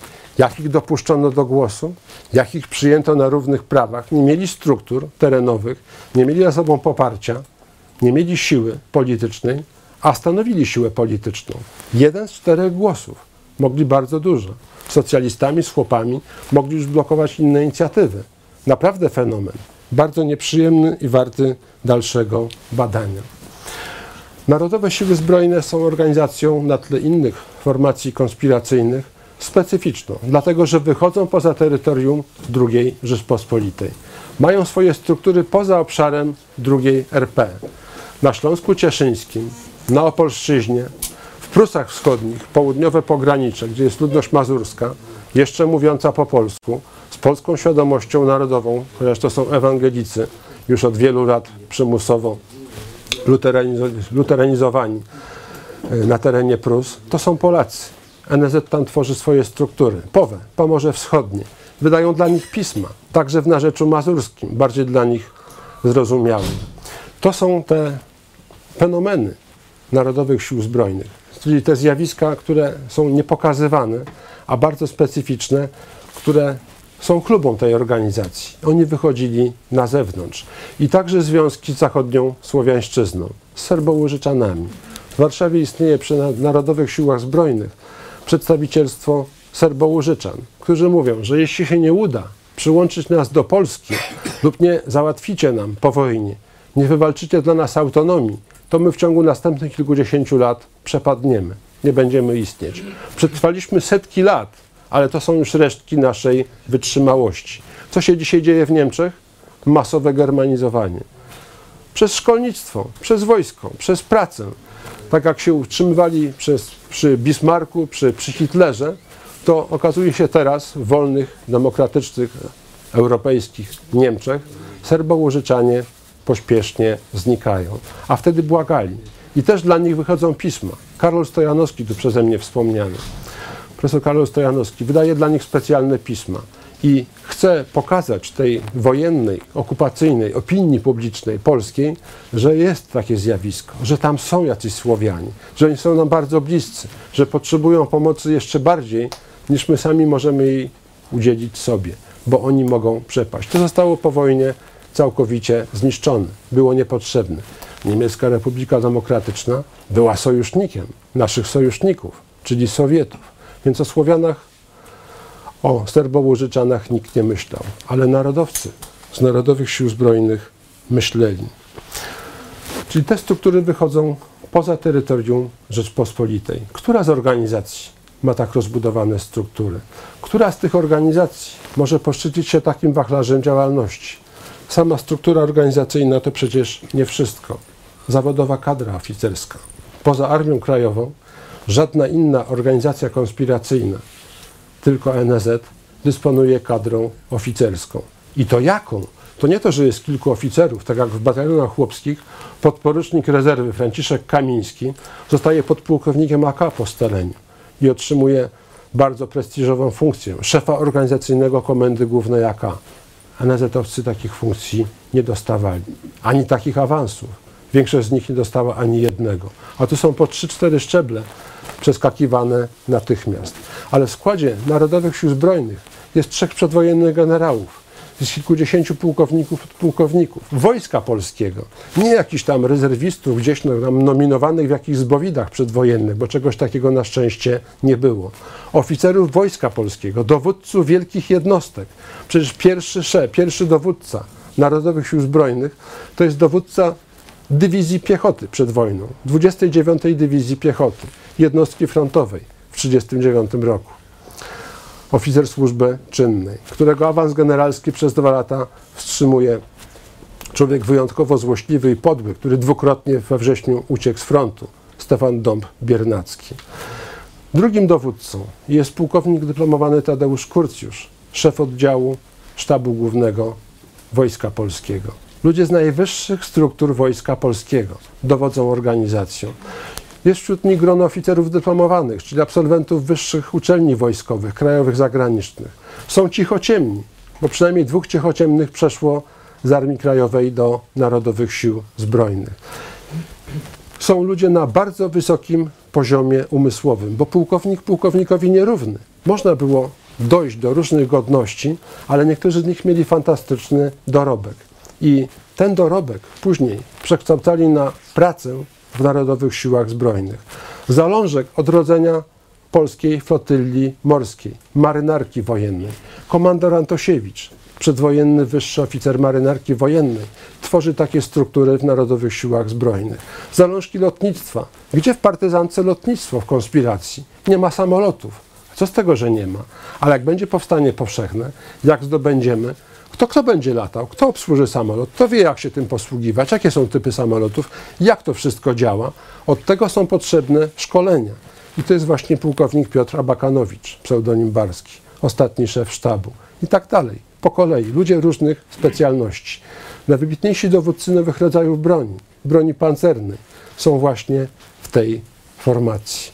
I dzięki tej kadrze, tak rozbudowanej, wszystkie struktury Narodowych Sił Zbrojnych mają charakter wojskowy. Przy wszystkich powiatach, czyli tej jednostce podstawowej, odpowiednik obwodu Armii Krajowej, są szkoły podchorążych i są szkoły podoficerskie różnych specjalności.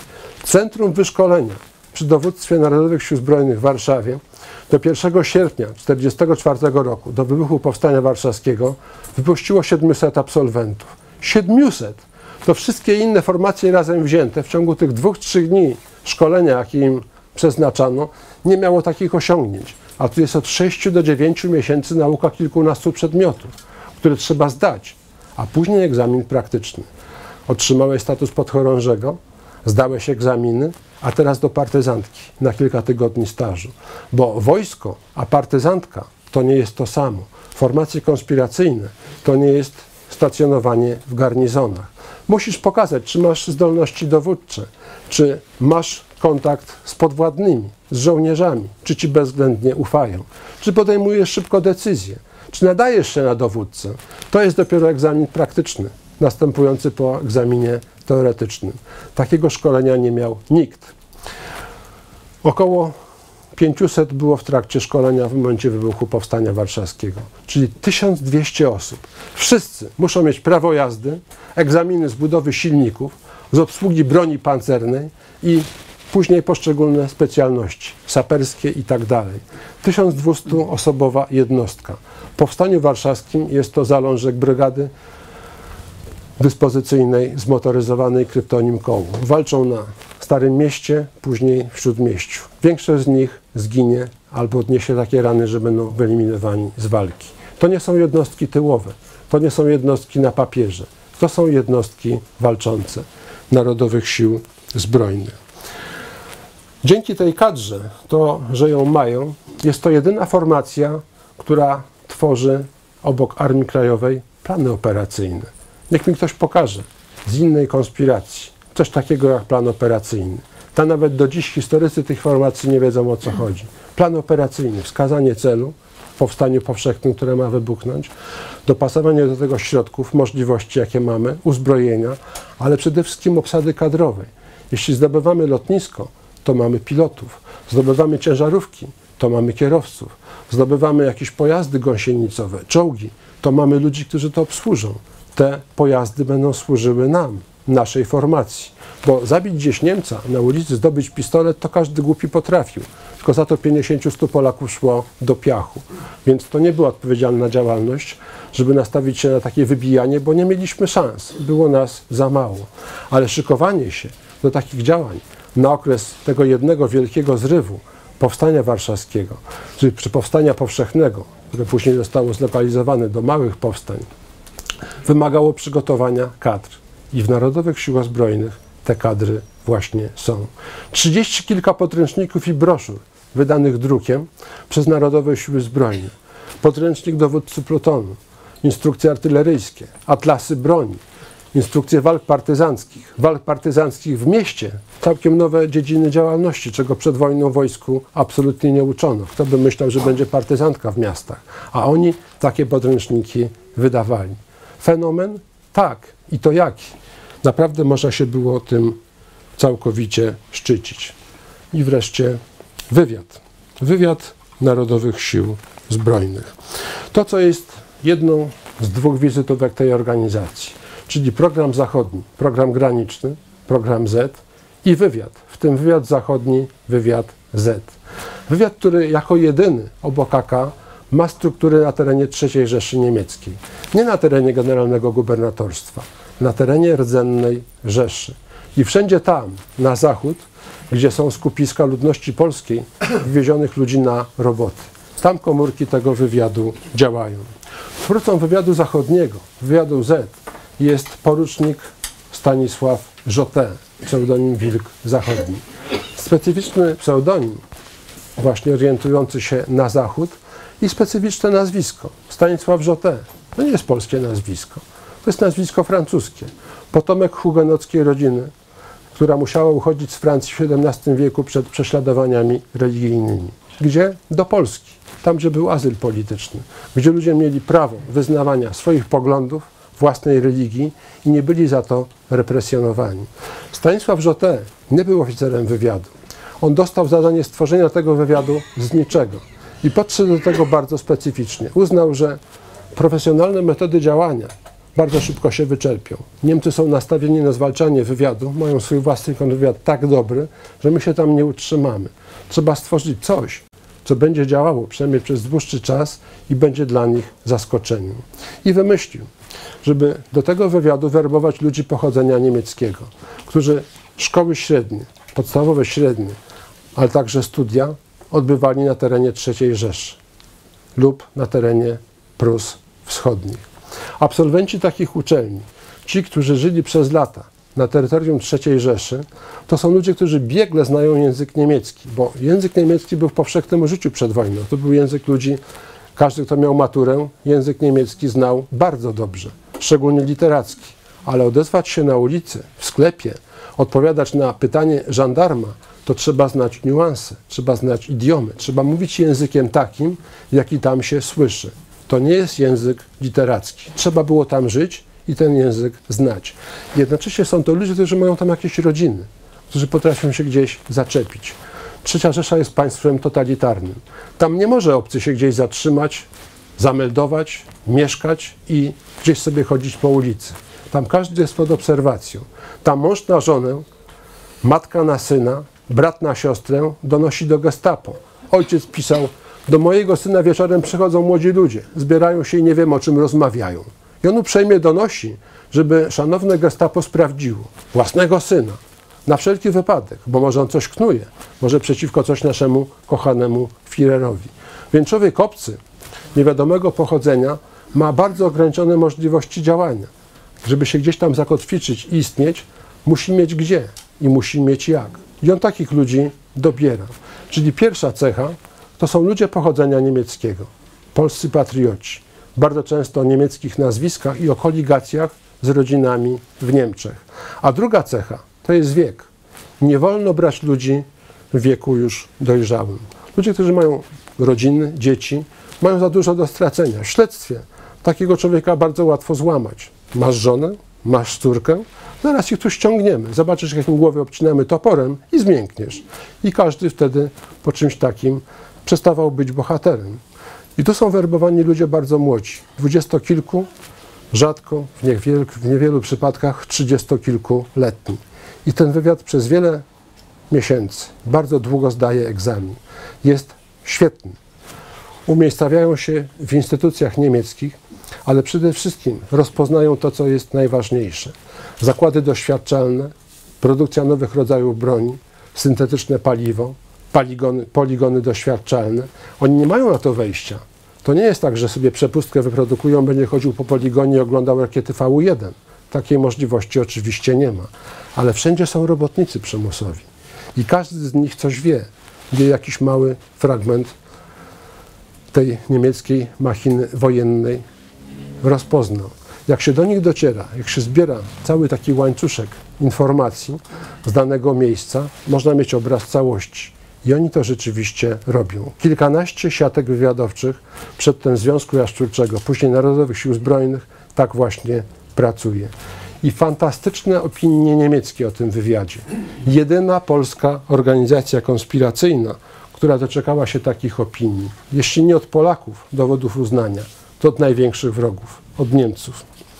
Główny Urząd Bezpieczeństwa Rzeszy, RSHA, nowoczesne drukarnie wywiadu Narodowych Sił Zbrojnych fałszują niemal wszystkie typy obowiązujących w generalnym gubernatorstwie dokumentów osobistych, w tym materiały Reichsführera i jednostek wojskowych. Kenkartę, zaświadczenie mógł wyprodukować praktycznie każdy. Umiał się posługiwać jakąś wyprodukowaną konspiracyjną pieczątką, jakiś bazgrał jako podpis i to przechodziło, ale to było lokalne zaświadczenie, czy przepustka na dany kwartał na danym terenie. Ale materiały Reichsführera, osoby numer dwa w hierarchii III Rzeszy, czyli samego Heinricha Himmlera, to nie mógł sobie tak każdy wyprodukować. Materiały jednostek wojskowych, które są charakterystyczne, to są druki normatywne, to są stemple, to są podpisy os- osób funkcyjnych, które są znane podwładnym, wiedzą. To trzeba zrobić. I to robili już nie fałszerze, to robili autentyczni artyści. I te dokumenty funkcjonowały. Dzięki temu funkcjonował ten wywiad. Raport Gestapo. Istnieje absolutna pewność, że ci młodzi idealiści pracują z całym zaangażowaniem, a zdrada jest wykluczona. Inne dokumenty Gestapo. Wywiad NSZ jest organizacją ekskluzywną, grupującą wyłącznie Polaków bez zarzutu i utalentowanych, bo dla nich każdy, kto jest w polskich strukturach, jest Polakiem. Później dopiero z, z przerażeniem stwierdzają, ilu tam jest ludzi niemieckiego pochodzenia, którzy pracują przeciwko III Rzeszy. Dlatego ten wywiad był taki efektywny. Tu nie ma czasu na rozwijanie tego wątku, ale to są fantastyczne osiągnięcia. I znamy to nie na podstawie późniejszych, powojennych opowieści, ale z meldunków tworzonych w czasie okupacji, w czasie II wojny światowej. Takie szczególne osiągnięcia, którymi chciałbym się pochwalić, znane mi od niedawna. Rafał mówi, że już to wcześniej wiedział, nie podzielił się, ale to jest normalne i oczywiste, że w tych sprawach każdy zazdrośnie strzeże swego. To są wywiady przemysłu kolejowego. Łącznie 66 stacji kolejowych na terenie Generalnego Gubernatorstwa i ziem wcielonych do Rzeszy pod całodobową obserwacją wywiadu Narodowych Sił Zbrojnych. Wszystkie ruchy jednostek pociągowych, czyli przewożenie ludzi, sprzętu, pojazdów jest obserwowane i jest rejestrowane. Zachowały się meldunki z kilku tylko miejsc, z Małkinni, z Tarnowa, po kilkaset meldunków z jednej stacji, a to nie są wszystkie z tych zachowanych, z tych, które się powinny zachować. Przetrwały tylko nieliczne. To było żywe, to funkcjonowało. I ci, którzy ten wywiad prowadzili, oczywiście nie wiedzieli, z czym mają do czynienia, bo na transportach nie było napisane, że dywizja pancerna, że jakaś jednostka SS, że jadą wojska zmotoryzowane, że to są czołgi pod plandekami czy samochody pancerne. Tego nie było widać. Na wagonach były oznaczenia. Dla Niemców to było oczywiste. I te oznaczenia były przez wywiadowców Narodowych Sił Zbrojnych kopiowane. Różnego rodzaju zwierzątka, roślinki i literki. Czyli wielkie jednostki Wehrmachtu czy wojsk pancernych oznaczone w ten sposób, obserwowane nie jednego czy przez dwa dni, ale notorycznie miesiącami, wiadomo, szlaki komunikacyjne jak wiodą. Skąd są, dokąd przerzucane jakie rodzaje wojsk, czyli co się szykuje na froncie, gdzie będzie jakaś ofensywa, gdzie jest szczególna koncentracja wojskowa. Nie robili tego dla siebie. Nie mieli sił ani możliwości, żeby tę wiedzę skorzystać. Co się z tą wiedzą dzieje? Przekazują wszystko do Komendy Głównej Armii Krajowej.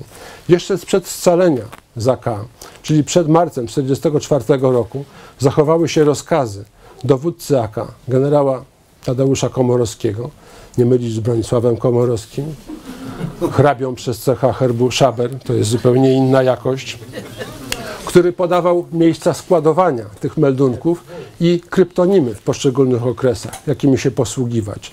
Czyli niezależnie od tego, że to są dwie różne organizacje, w tym zakresie pracują wszystkie na rzecz sprawy polskiej.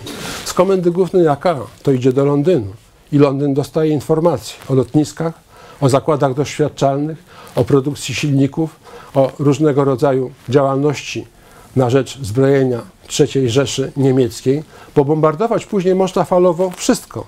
Puste pola, miasta, makiety zakładów przemysłowych, to jest bez sensu. Ale dostać wiedzę, co tam jest, to było coś niezwykle atrakcyjnego. Brytyjczycy nie mieli swojego wywiadu. Nie miało żadne państwo alianckie rozbudowanego wywiadu na terenie III Rzeszy, bo ten wywiad się tam nie utrzymywał. Mieli tylko Polacy. I cały polski wywiad AK i NZ pracuje na rzecz aliantów, na rzecz Brytyjczyków. Dlatego dzisiaj nie chcą tego pokazać. Nie chcą powiedzieć, nie chcą powiedzieć, znaczy twierdzą, że wszystkie dokumenty z tamtego okresu zostały zniszczone. W związku z tym nic się nie zachowało. Żaden wywiad tak nie musi, nie niszczy. Nie ma takiej potrzeby. Struktury wywiadu morskiego, obserwacja portów, zakładów remontowych, budowy nowych rodzajów łodzi podwodnych. Właśnie komand komandor Antosiewicz. Przepiękne instrukcje, co i jak zbierać, jakie informacje. Najbardziej wartościowe rzeczy, o jakich możemy mówić, to są właśnie oni.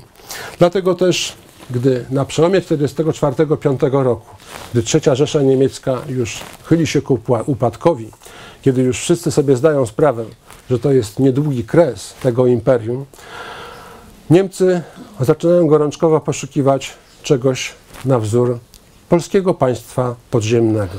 Że oto przegrywamy wojnę i będziemy za to rozliczeni, za to wszystko, co zrobiliśmy. Ale jest nadzieja, że między wschodem a zachodem nie będzie współpracy po wojnie, że te dwa światy, świat zachodu i świat bolszewi moskiewskiej, wezmą się za bary. Będzie walka o panowanie nad światem. Wtedy jest nasza rola, bo kto był pod Moskwą? Kto walczył z Sowietami tyle lat? Kto ma najlepiej wyćwiczonych żołnierzy i zaprawionych oficerów, którzy tam byli? Tylko my, Niemcy. Jeśli przetrwamy ten pierwszy okres rozliczeń, przetrwamy w konspiracji, stworzymy coś na wzór niemieckiego państwa podziemnego z, naszymi zasobami finansowymi, zasobami broni, zasobami kadrowymi, będziemy atrakcyjnym partnerem. A wtedy te zbrodnie poprzednie pójdą w zapomnienie. I tak poszły, niezależnie od tego. W związku z tym Gestapo otrzymuje zadanie na przełomie 1944-1945 roku scharakteryzować polskie organizacje konspiracyjne. Co się dzieje? Jak to było możliwe, że fenomen polskiego państwa podziemnego przetrwał, że my tego nie zniszczyliśmy? Przecież niszczyliśmy cały czas, rozpoznawaliśmy, Polacy ponosili straty, ale to wszystko istniało, istnieje nadal. Trzeba znaleźć teraz wzór jednej z tych organizacji, który byłby do zastosowania przez nas, przez Niemców. Charakterystyka Gestapo odnośnie Narodowych Sił Zbrojnych brzmi następująco. Jest to dokument, oczywiście wtedy ściśle tajny, w języku niemieckim. Jeden egzemplarz leży w archiwum aktowych w Warszawie, dostępny przez wszystkich uczonych, całkowicie ignorowany, bo ideologicznie niesłuszny. Pokazuje coś, czego pokazywać oni nie chcą. W tym dokumencie Gestapo pisało tak. Wielkim celem politycznym obozu narodowego, w tym INZ, jest walka o niepodległość Polski. Przy czym następujące kwestie wysuwają się na czoło. Po pierwsze, zdobycie Prus wschodnich dla Polski. Po drugie, zdobycie ziem aż po Odrę Łużycką. I po trzecie, obrona kraju przed komunistami i Ukraińcami i zniweczenie ich starań o oderwanie polskich ziem wschodnich. Niemcy wiedzieli, że NZ przestrzega przed niebezpieczeństwem ukraińskim. Zresztą to było od samego początku okupacji. To nie było tak, że Wołyń się rozpoczyna 11 lipca 1943 roku, a przedtem to była symbioza z Ukraińcami. Nie, nieprawda. Od września 1939 roku są rzezie, tylko nie na, tak, na taką wielką skalę. NZ o tym przestrzegał, Niemcy to widzieli. NZ rozwinęły swą wojskową organizację prawie na całe terytorium byłego państwa polskiego. Szczególnie jednak skoncentrowane były na lewym brzegu Wisły. Ich bataliony i samodzielne kompanie stanowiły najistotniejsze siły powstańcze obok Armii Krajowej. Szeregi NZ składają się z żołnierzy wyszkolonych w oparciu o jasne idealistyczne podstawy, którzy albo przed wojną działali w jednej z grup narodowych, albo politycznie i bojowo sprawdzili się w czasie tragedii września 1939 roku lub podziemnej walce z Niemcami. Zadanie rozpoznania sytuacji, wskazania wzoru, na czym Niemcy mają się oprzeć, otrzymuje szef niemieckiego wywiadu na wschód, generał Reinhard Gehlen. On w raporcie, który przedstawia najwyższym władzom III Rzeszy na początku kwietnia 1945 roku, napisał wprost: Narodowe Siły Zbrojne. Był to najbardziej prężnie zorganizowany, dowodzony nielegalny Związek Polski. To jest opinia niemiecka. Niemcy widzą, że nic bardziej rozwiniętego, nic, co by bardziej mogło posłużyć jak, jako wzór dla Niemców, nie ma. Właśnie Narodowe Siły Zbrojne. Jak to argumentują? Piszą, że ta formacja ma świetnie działający zewnętrzny wywiad, także na terenie Rzeszy, ma oddziały specjalne, czyli akcję specjalną, tworzy plany operacyjne i tu nie ma informacji o współpracy z Niemcami. To, co nam ci wszyscy dziwni czy nie dziwni ludzie zarzucają, w tych niemieckich dokumentach brzmi zupełnie inaczej. Otóż generał Gehlen pisze, w szczególnie ostry sposób NZ zwraca się przeciwko niemieckim organom policyjnym. Na niemieckie akty terroru i zemsty należy odpowiadać przy, całym, przy udziale całej ludności publiczną akcją plakatowania zapowiadającą akty terroru i zemsty, czyli przeciwko Niemcom. Przeciwko wyższym oficerom gestapo, żandarmerii oraz więziennictwa mają być wydawane, wykonywane wyroki śmierci. Takie sprawy były. Należy podejmować ataki na więzienia w celu uwolnienia więźniów politycznych. Największa akcja tego typu w polskim podziemiu podczas okupacji to jest uwolnienie 400 więźniów politycznych, 400, nie trzech, czterech, kilkunastu, 400 z więzienia w Łomży w czerwcu 1944 roku. Dzieło Narodowych Sił Zbrojnych. I on pisze, że polskie podziemie ma kontakty z Niemcami. Zresztą sobie trudno wyobrazić jakąkolwiek działalność bez wchodzenia w jakieś kontakty z wrogiem. Ma je delegatura rządu, ma Armia Krajowa, okręgi wschodnie, okręg nowogródzki przez kilka miesięcy w ogóle zawiesza walki z Niemcami, uważając, że to jest bezsensowne, jak idą bolszewicy. I zaraz nas tu wszystkich wyrżną. Natomiast to wskazanie na NZ jest też bardzo specyficzne.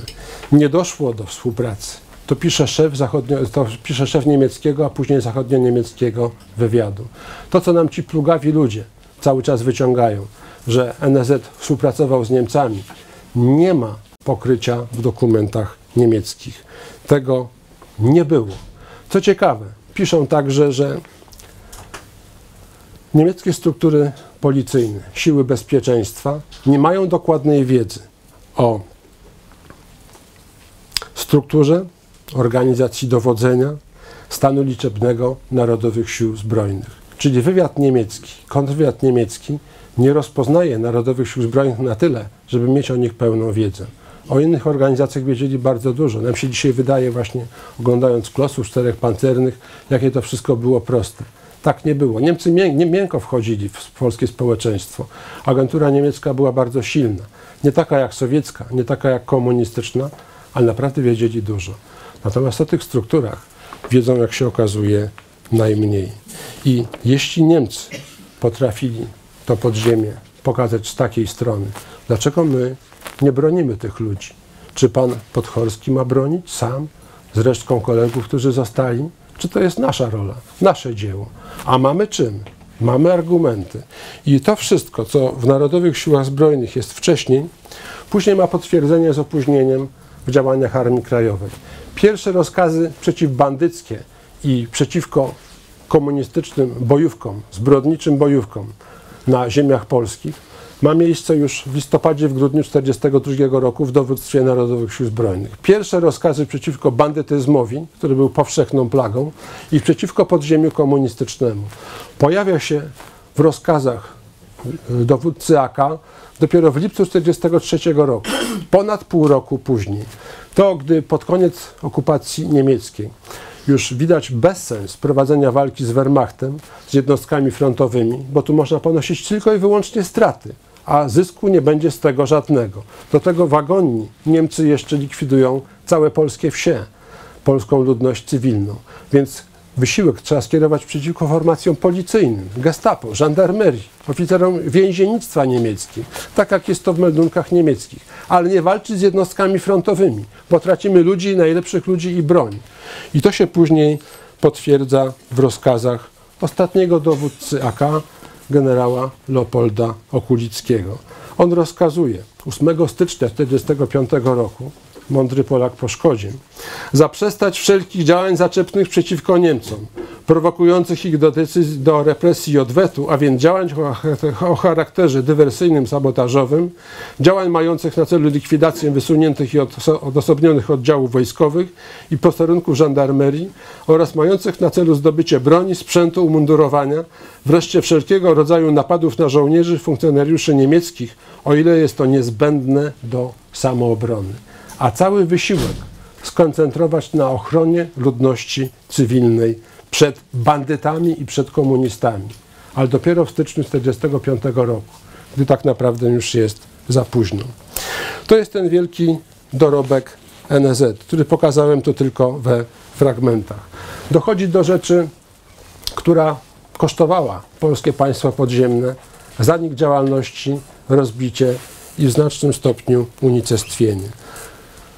Organizacje niepodległościowe nastawiały się na jednorazowy wysiłek, na powstanie powszechne. W momencie, kiedy Niemcy będą pobici na froncie wschodnim, kiedy będą się cofać, nastąpią sprzyjające warunki, tak jak było podczas I wojny światowej, pod koniec. Można ich rozbrajać, ustanawiać polskie władze. Tak miało wyglądać powstanie powszechne. Niemcy przegrywają, ale wycofują się w najlepszym porządku. Front aż do Berlina cofa się nierozerwany, niezniszczony. Niemcy są cały czas zdolni do obrony, do funkcjonowania, więc nie ma szans na powstanie powszechne.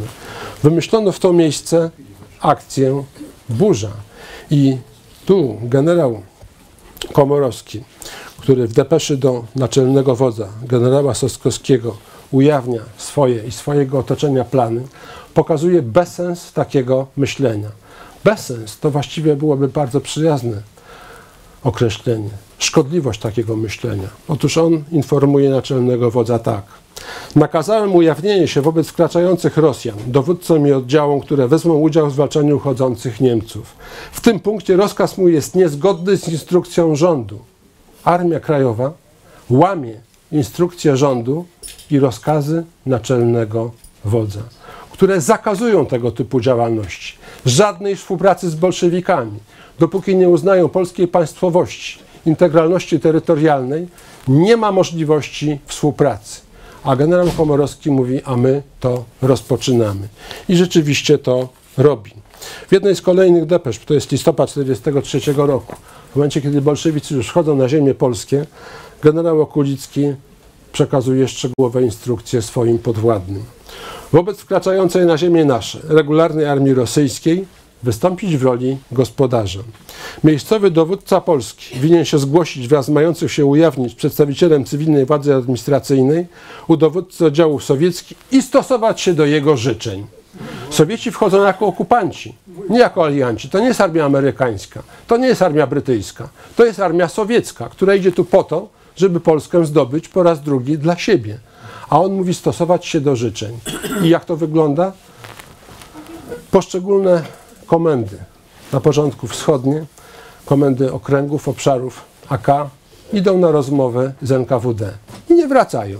I tak jak jedni to zrobili, zrobili błąd, to jeszcze można zrozumieć, próbowali, ale wszyscy kolejni robią dokładnie to samo. Armia Krajowa w znacznym stopniu została unicestwiona. Zniszczone polskie państwo podziemne, zniszczona delegatura rządu na kraj. Dlatego opór po 1944 roku jest taki słaby. Już nie ma takiego zasięgu. Najlepsi wyginęli albo gniją na Syberii. I zostali tylko ci, którzy poszli po rozum do głowy, nie zrobili tego, co było krokiem samobójczym. Zupełnie odmienne rozkazy wydaje dowódca Narodowych Sił Zbrojnych. Ja już tylko tu powiem w dwóch zdaniach, własnymi słowami, nie ma czasu. On absolutnie zakazuje, dopóki Sowieci nie ogłoszą i polski rząd nie uzna, że takie stanowisko przyjmujemy, że Sowieci honorują naszą suwerenność, niepodległość, żadnego współdziałania z bolszewikami. Ci, którzy idą z nimi na współpracę, ujawniają się z bronią, dokonują tak naprawdę aktu zdrady. I w akcji Burza oddziały Narodowych Sił Zbrojnych biorą udział, wszędzie tam, gdzie są, ale przed tym ostatnim krokiem nie ujawniają się przed bolszewikami, chowają broń, oddziały są rozformowane, ludzie są przerzucani na inny teren. Dlatego podziemie narodowe trwa do połowy lat 50., a podziemie połakowskie, to w ścisłym znaczeniu, w 1947-1948 roku już praktycznie nie istnieje, pozostały tylko pojedyncze oddziały w lasach. To wszystko zostało zniszczone. 1 lipca 1945 roku zostaje rozwiązana delegatura rządu na kraj. 19 stycznia 1945 roku, wcześniej, zostaje rozwiązana Armia Krajowa, która już nie może egzystować. Jak się okazuje, dzisiaj wiemy z tych dokumentów sowieckich, z dokumentów Smiersza, sowieckiego kontrwywiadu, wchodząc na ziemię polskie, znali struktury, znali personalia, obsady. Rysopisy ludzie jak nie mieli danych. Komendy okręgów AK są rozszyfrowane. W środku siedzi sowiecka agentura i to na bardzo wysokich stanowiskach. Jest, są znacznie skuteczniejsi i lepsi od Niemców, dlatego że mają wejścia w społeczeństwo polskie przez środowiska komunistyczne, lewicowe, postępowe, demokratyczne. No wtedy jeszcze tylko gender nie było, brakowało tego, żeby w sukienkach biegali po lasach gwardziści ludowi. Ale to się zdarzało. Nawet to, bo po pijaku to i w jedwabiach potrafili chodzić, tak jak Sowieci. NZ nie popełnia samobójstwa zostaje w konspiracji. Czyli rozwiązanie Armii, Armii Krajowej i delegatury rządu na kraj nie jest dla nich kresem działania. I nieprawdą jest, że NZ nie uznawały polskich władz w Londynie, polskiego rządu na wychodźstwie i naczelnego wodza. Tak naprawdę oni jedyni, i to do końca, trwali przy naczelnym wodzu, trwali przy polskim rządzie w Londynie. Oni jedyni jedni zostali do końca. Gdy w tej akcji burza zostały wyniszczone największe zgrupowania, zniszczone zasoby broni, wyaresztowana kadra oficerska, wyłapana, eksterminowana, Armia Krajowa tak naprawdę się rozpada. Po styczniu 1945 roku tworzą się nowe organizacje. Wiele ugrupowań połakowskich nie uznaje tego, co ma być centrum, co ma być najważniejsze. Zrzeszenia Wolność i Niezawisłość z kilku powodów. Po pierwsze, na czele winu zostaje postawiony pułkownik Jan Rzepecki. Dzisiaj nie ma wątpliwości do tego, kto to był. Człowiek, który komunizował, który już w flagu namawiał innych oficerów na współpracę z bolszewikami. No bo przegraliśmy, to trzeba ratować co się da. Chcą kresy, niech sobie wezmą kresy. Ale może coś dla nas zostanie. A wyeliminujemy w ten sposób przeciwników politycznych. I to rzeczywiście zrobił. Jako pierwszy przywódca Zrzeszenia Wolność Niezawisłość jednym ruchem politycznym załatwił rzecz następującą. Cofnął uznanie dla polskiego rządu na wychodźstwie. Uznał, że centrum polskich władz jest w kraju, czyli sowiecki rząd tymczasowy, a później tak zwany rząd jedności narodowej. Nazwa jak na pośmiewisko.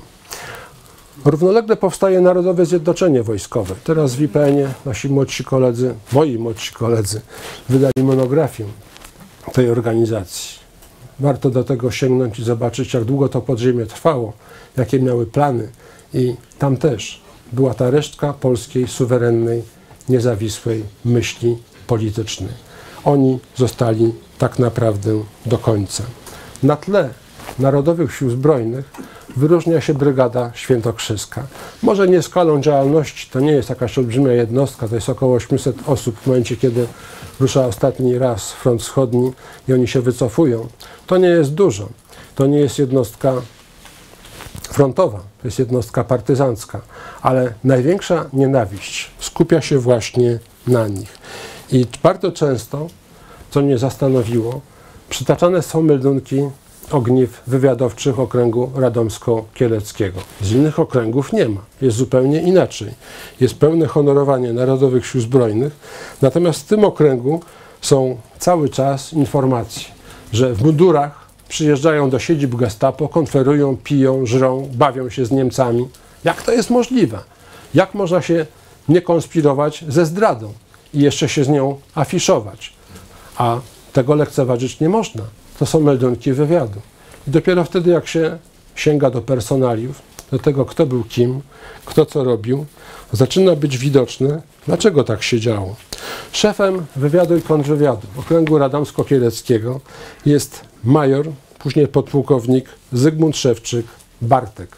Gdy ludzie ze sztabu, ujęci przez Sowietów czy przez bezpiekę, dostają kary śmierci, kary dożywocia, przechodzą okropne tortury, niektórych mordują komuniści na miejscu, on idzie do ludowego, do ludowego Wojska Polskiego, zostaje oficerem komunistycznym z dnia na dzień.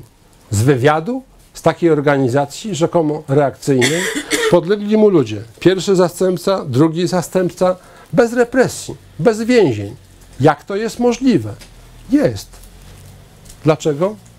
Współpraca z NKWD od samego początku. Stukali dla bolszewików, będąc w AK. I później dramat. Zygmunt Szewczyk, szef wywiadu kontrwywiadu Okręgu Kieleckiego, wydaje przynajmniej dwie prominentne osoby, co do czego mamy źródła. Po pierwsze, podpułkownika Zygmunta Żywockiego, pseudonim Adam, to jest inspektor, między innymi inspektor radomski AK, który zostaje aresztowany, przechodzi okrutne śledztwo, kara śmierci, na szczęście zamieniona zaledwie na 10 lat więzienia. I drugi, to jest major Stefan Gądzio, pseudonim Kos, inspektor Starachowicki, aresztowany w nocy z 5 na 6 sierpnia, wskazany przez szefa wywiadu kontrwywiadu AK, bo wezwał ich na odprawę organizacyjną i od razu wydał w ręce bolszewików. Major Gądzio został tego samego dnia zamordowany bez śledztwa na miejscu. Z kim współpracuje ta struktura wywiadowcza Komendy Okręgu AK? Z pułkownikiem Władysławem Spychajem. Po wojnie on się nazywa Sobczyński. Jest szefem UB w Rzeszowie, a później w Kielcach. On robi pogrom kielecki. Tak przedziwne związki konspiracji z nową władzą tłumaczą tę niezwykłą nienawiść. Natomiast meldunki terenowe odnośnie Narodowych Sił Zbrojnych są zupełnie inne. Oficerowie operacyjni, oficerowie organizacyjni AK piszą o NZ w samych superlatywach. Podpułkownik Józef Mularczyk, pseudonim Żor, inspektor kielecki AK, w rozkazie po staleniu NZ-u Zaka pisze Żołnierze NZ pod względem ideowo-moralnym swoich dążeń i celów nie różnili się niczym od żołnierzy AK, a teraz i pod względem formalnym, formalno-prawnym mają to samo stanowisko. Czyli on uznaje, że przedtem to byli tacy sami żołnierze jak my. To jest cały zresztą bardzo piękny rozkaz. Podpułkownik Stanisław Pawłowski, pseudonim Powała, inspektor Piotrkowski, to jest okręg łódzki AK. Od tej chwili były oddziały narodowe nazywać oddziałami AK, nie czyniąc żadnych różnic. I tu nie ma zarzutów zdrady. Tu nie ma zarzutów, że oni jawnie jeżdżą gdzieś do gestapo i konferują. Wprost przeciwnie. Najlepsze jednostki później w AK to są ludzie z NSZ-u. Podstawa działań. W Powstaniu Warszawskim tu mamy żywego świadka historii. 5 do 7 tysięcy ludzi ze struktur NZ-owskich razem z Mieczem i Pługiem stalonym 10 lipca 1944 roku z NZAK. I to są jednostki walczące. Największe zgrupowanie powstańcze, Chrobry II, stworzone od podstaw przez oficerów NSZ-u. I to jest jedyne zgrupowanie powstańcze, o którym generał Monter, dowódca powstania, napisał później po wojnie, że wy jedni nie oddaliście Niemcom, Niemcom ani piędzi ziemi. Beldunki kontrwywiadu akowskiego z okresu powstania, że jednostki jednostki NZ-u AK są ideowe. Nie pójdą na współpracę z bolszewikami i nie poddadzą się Niemcom. Schodzą do następnej konspiracji, to zapowiadają, chowają broń, dalej będą prowadzić działalność. Najlepsze opinie, jakie są, to są oni. Struktura pułkowa i dwudywizyjna w powstaniu, która nie została doprowadzona do końca, dlatego że poszczególni dowódcy zgrupowań nakowskich nie chcą oddawać żołnierzy oficerów NSZ-u do jednostek właściwych. Chcą ich mieć u siebie, bo są najlepsi. A gdzie są w powstaniu? Zniknęli. W dodatku jeszcze rzeczy naprawdę haniebne. Korespondowałem, nie poznałem osobiście pana porucznika Bolesława Stańczyka, pseudonim Leon Lęcki w NSZ. To był oficer wyszkolenia powiatu numer 5 w okręgu Warszawa, a w powstaniu warszawskim nosił pseudonim Ksen. Gdy wybuchło powstanie, on o tym nie wiedział, był akurat w Warszawie, przyłączył się do powstania, jest dowódcą pocztu dowódcy zgrupowania Zośki, Parasola, później w czacie 49, oficer, który przeprowadza górą ze Starówki przez Ogród Saski y, grupę powstańców, którzy przedostają się górą. Kilku zna język niemiecki, są w niemieckich panterkach, gdy są pytani o hasła, są sprawdzani, krzyczą obelżywie, że schodzą z posterunków, brudni, umazani, to widać, idą odpoczywać. Niemcy ich przepuścili. Ci ludzie zostali uratowani. Dwukrotnie ranny w powstaniu, odznaczony krzyżami walecznych, dwukrotnie. I ani przez jeden dzień nie szedł z pola walki. Później trafia do flagów. A w 1946 roku w Londynie, w emigracyjnym Londynie jest weryfikacja. I on musi podać przebieg służby wcześniejszy. I podaje w NSZ. A w powstaniu dostał awans o jeden stopień. Co z nim zrobiono? Zabrano mu ten awans. Dlaczego? Bo nie nasz. Bo nie Achowiec, tylko NZ-owiec. Tak jakby krew się liczyła jakoś inaczej, miał rzadszą, jaśniejszą, jakąś inną. To był człowiek wybitny. Wybitny konstruktor nietypowy- nietypowych budowli inżynieryjnych w Stanach. Człowiek, który dorobił się fortuny i pisał, mówi, mam rodzinę, mam stanowisko, mam pieniądze, wszystko, co mogłem w życiu osiągnąć, to osiągnąłem. Ale jak pan tam jest na miejscu, w Polsce, pan się tym interesuje, gdyby pan sprawdził, jak pan może, dlaczego mi ten awans zabrali? Dlaczego moje rany stały się nieważne? Dlaczego moje krzyże waleczne przestały mieć znaczenie?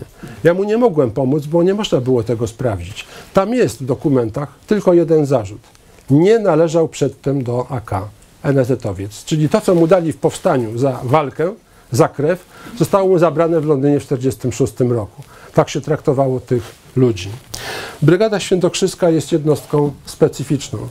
Powstaje od kwietnia 1944 roku jako 204 Pułk Piechoty. Porządkowo jest to zgrupowanie od czerwca 204 Pułk Piechoty. Od sierpnia 1944 tworzy się dużą jednostkę bojową, taktyczną pod nazwą Brygada Świętokrzyska. To jest zawiązek grupy operacyjnej. Plany operacyjne NZ-u były takie, że stworzy się trzy grupy operacyjne z sił NZ-owskich, które w porozumieniu z AK pójdą na zachód za frontem. Ponieważ AK oficjalnie nie może, stanowisko aliantów jest takie, że Polsce się nic nie należy, no to my stworzymy fakty dokonane. Nauczeni doświadczeniem tuż po I wojnie światowej, to, to nie było zdobyte własną krwią, nie wywalczone w Powstaniu Wielkopolskim, w powstaniach śląskich, nie było wywalczone przez działania rozbrajające Niemców, to alianci by nam przecież nic z tego nie dali. Więc teraz trzeba postąpić tak, nauczyć się na tych negatywnych przykładach z przeszłości i ustanowić fakty dokonane.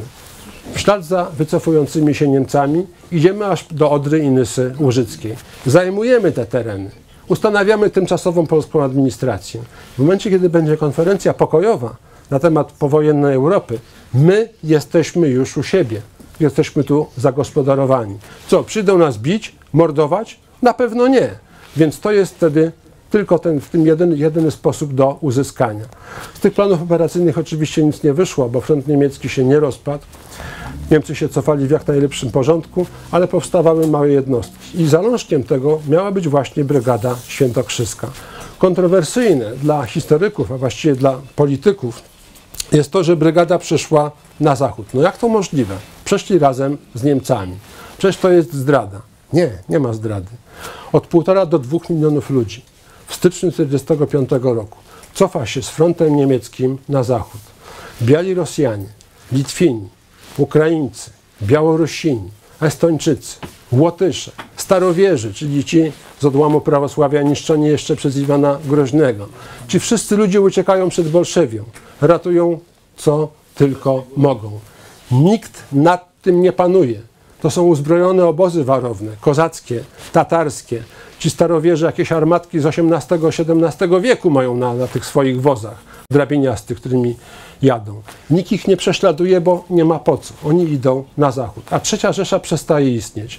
I wśród nich 800 żołnierzy, oficerów NZ-u to jest kropla, która absolutnie nic nie znaczy.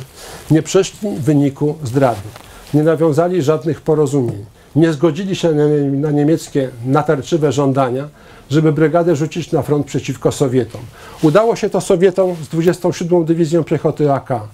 Jednostka, która miała bronić Polaków na Wołyniu, która miała bronić Polaków przed UPA, sformowana przez zabranie samoobrony z terenów wiejskich, gdzie te tereny zostały ogołocone z broni i z ludzi i poddane pod rzeź Ukraińców.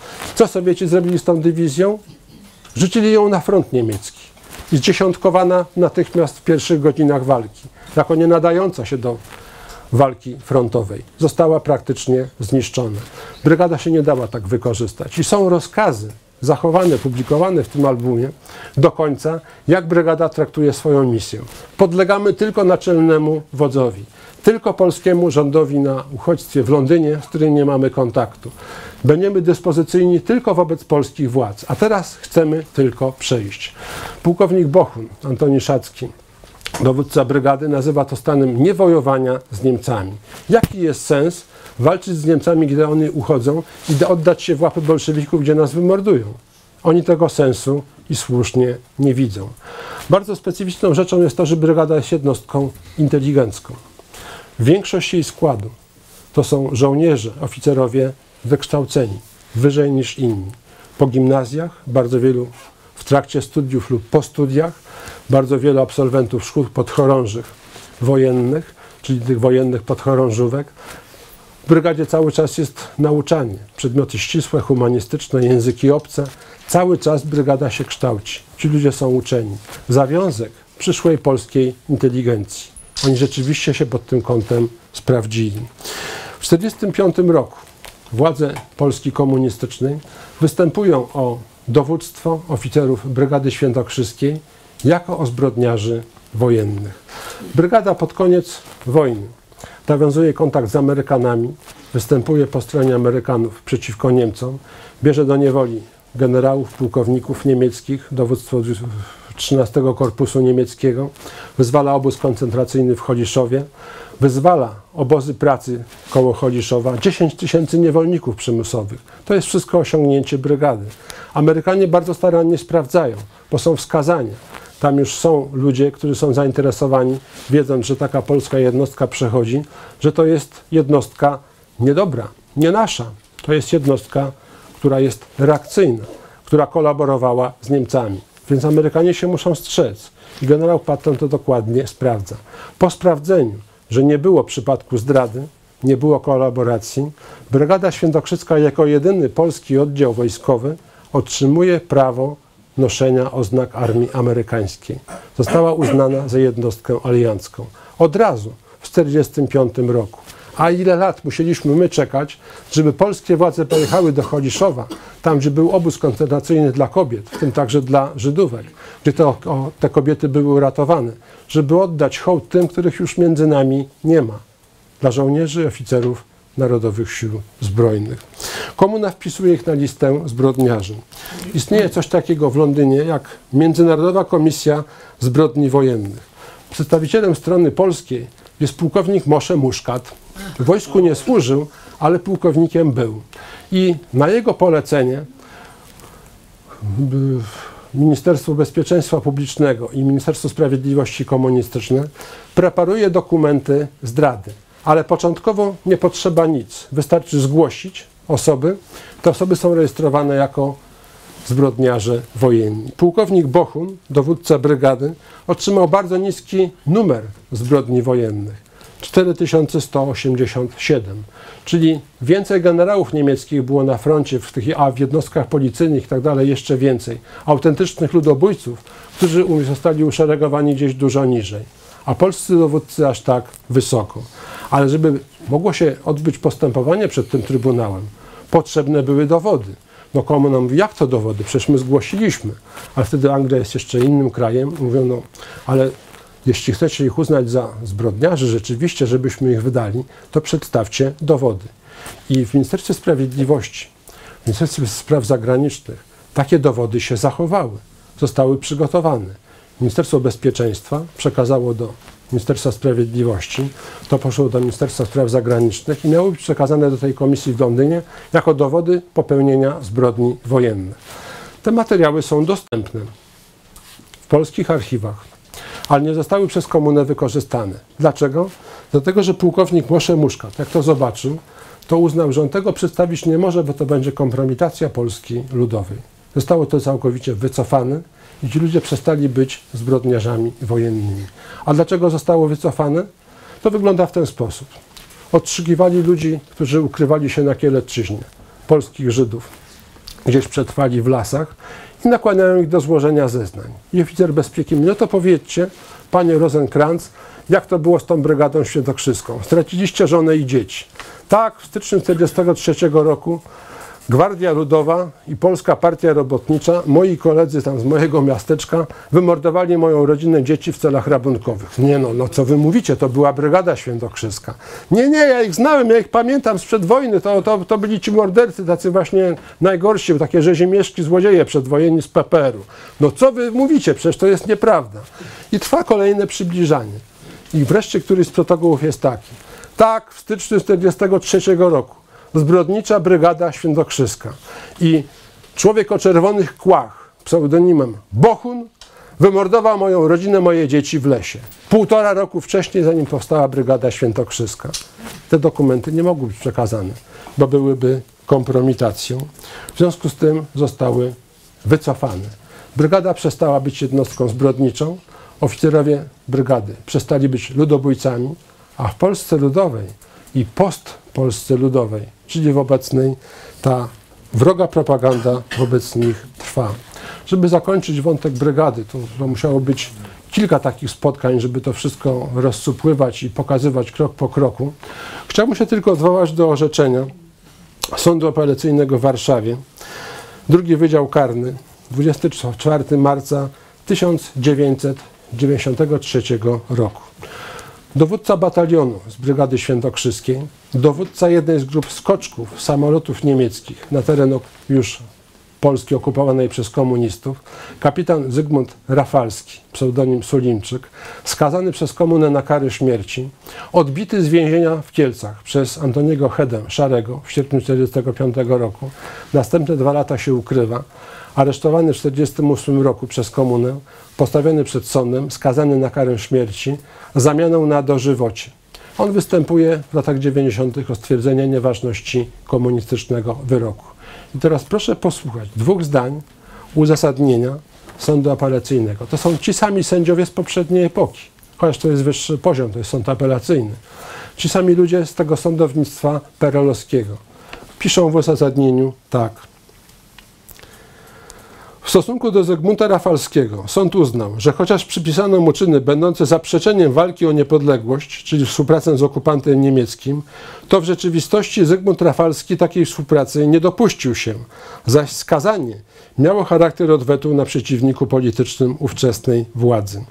Już z samych akt procesu wytoczonego Rafalskiemu w 50 roku nie wynika, aby dowiedziono mu jakąkolwiek współpracę z okupantem niemieckim.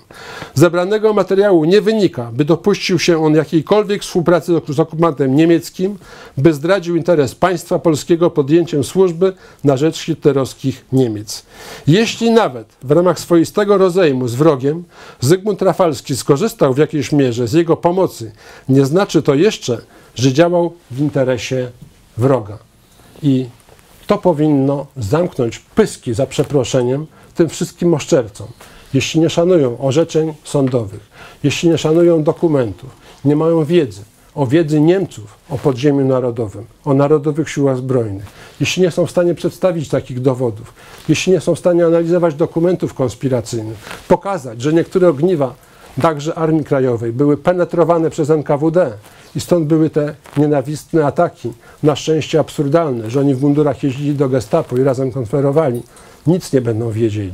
Dlatego nie chcą podjąć jawnej polemiki. Nie chcą się spotkać. Ja im to cały czas proponuję, ale tego do tej pory nie ma. Dziękuję bardzo.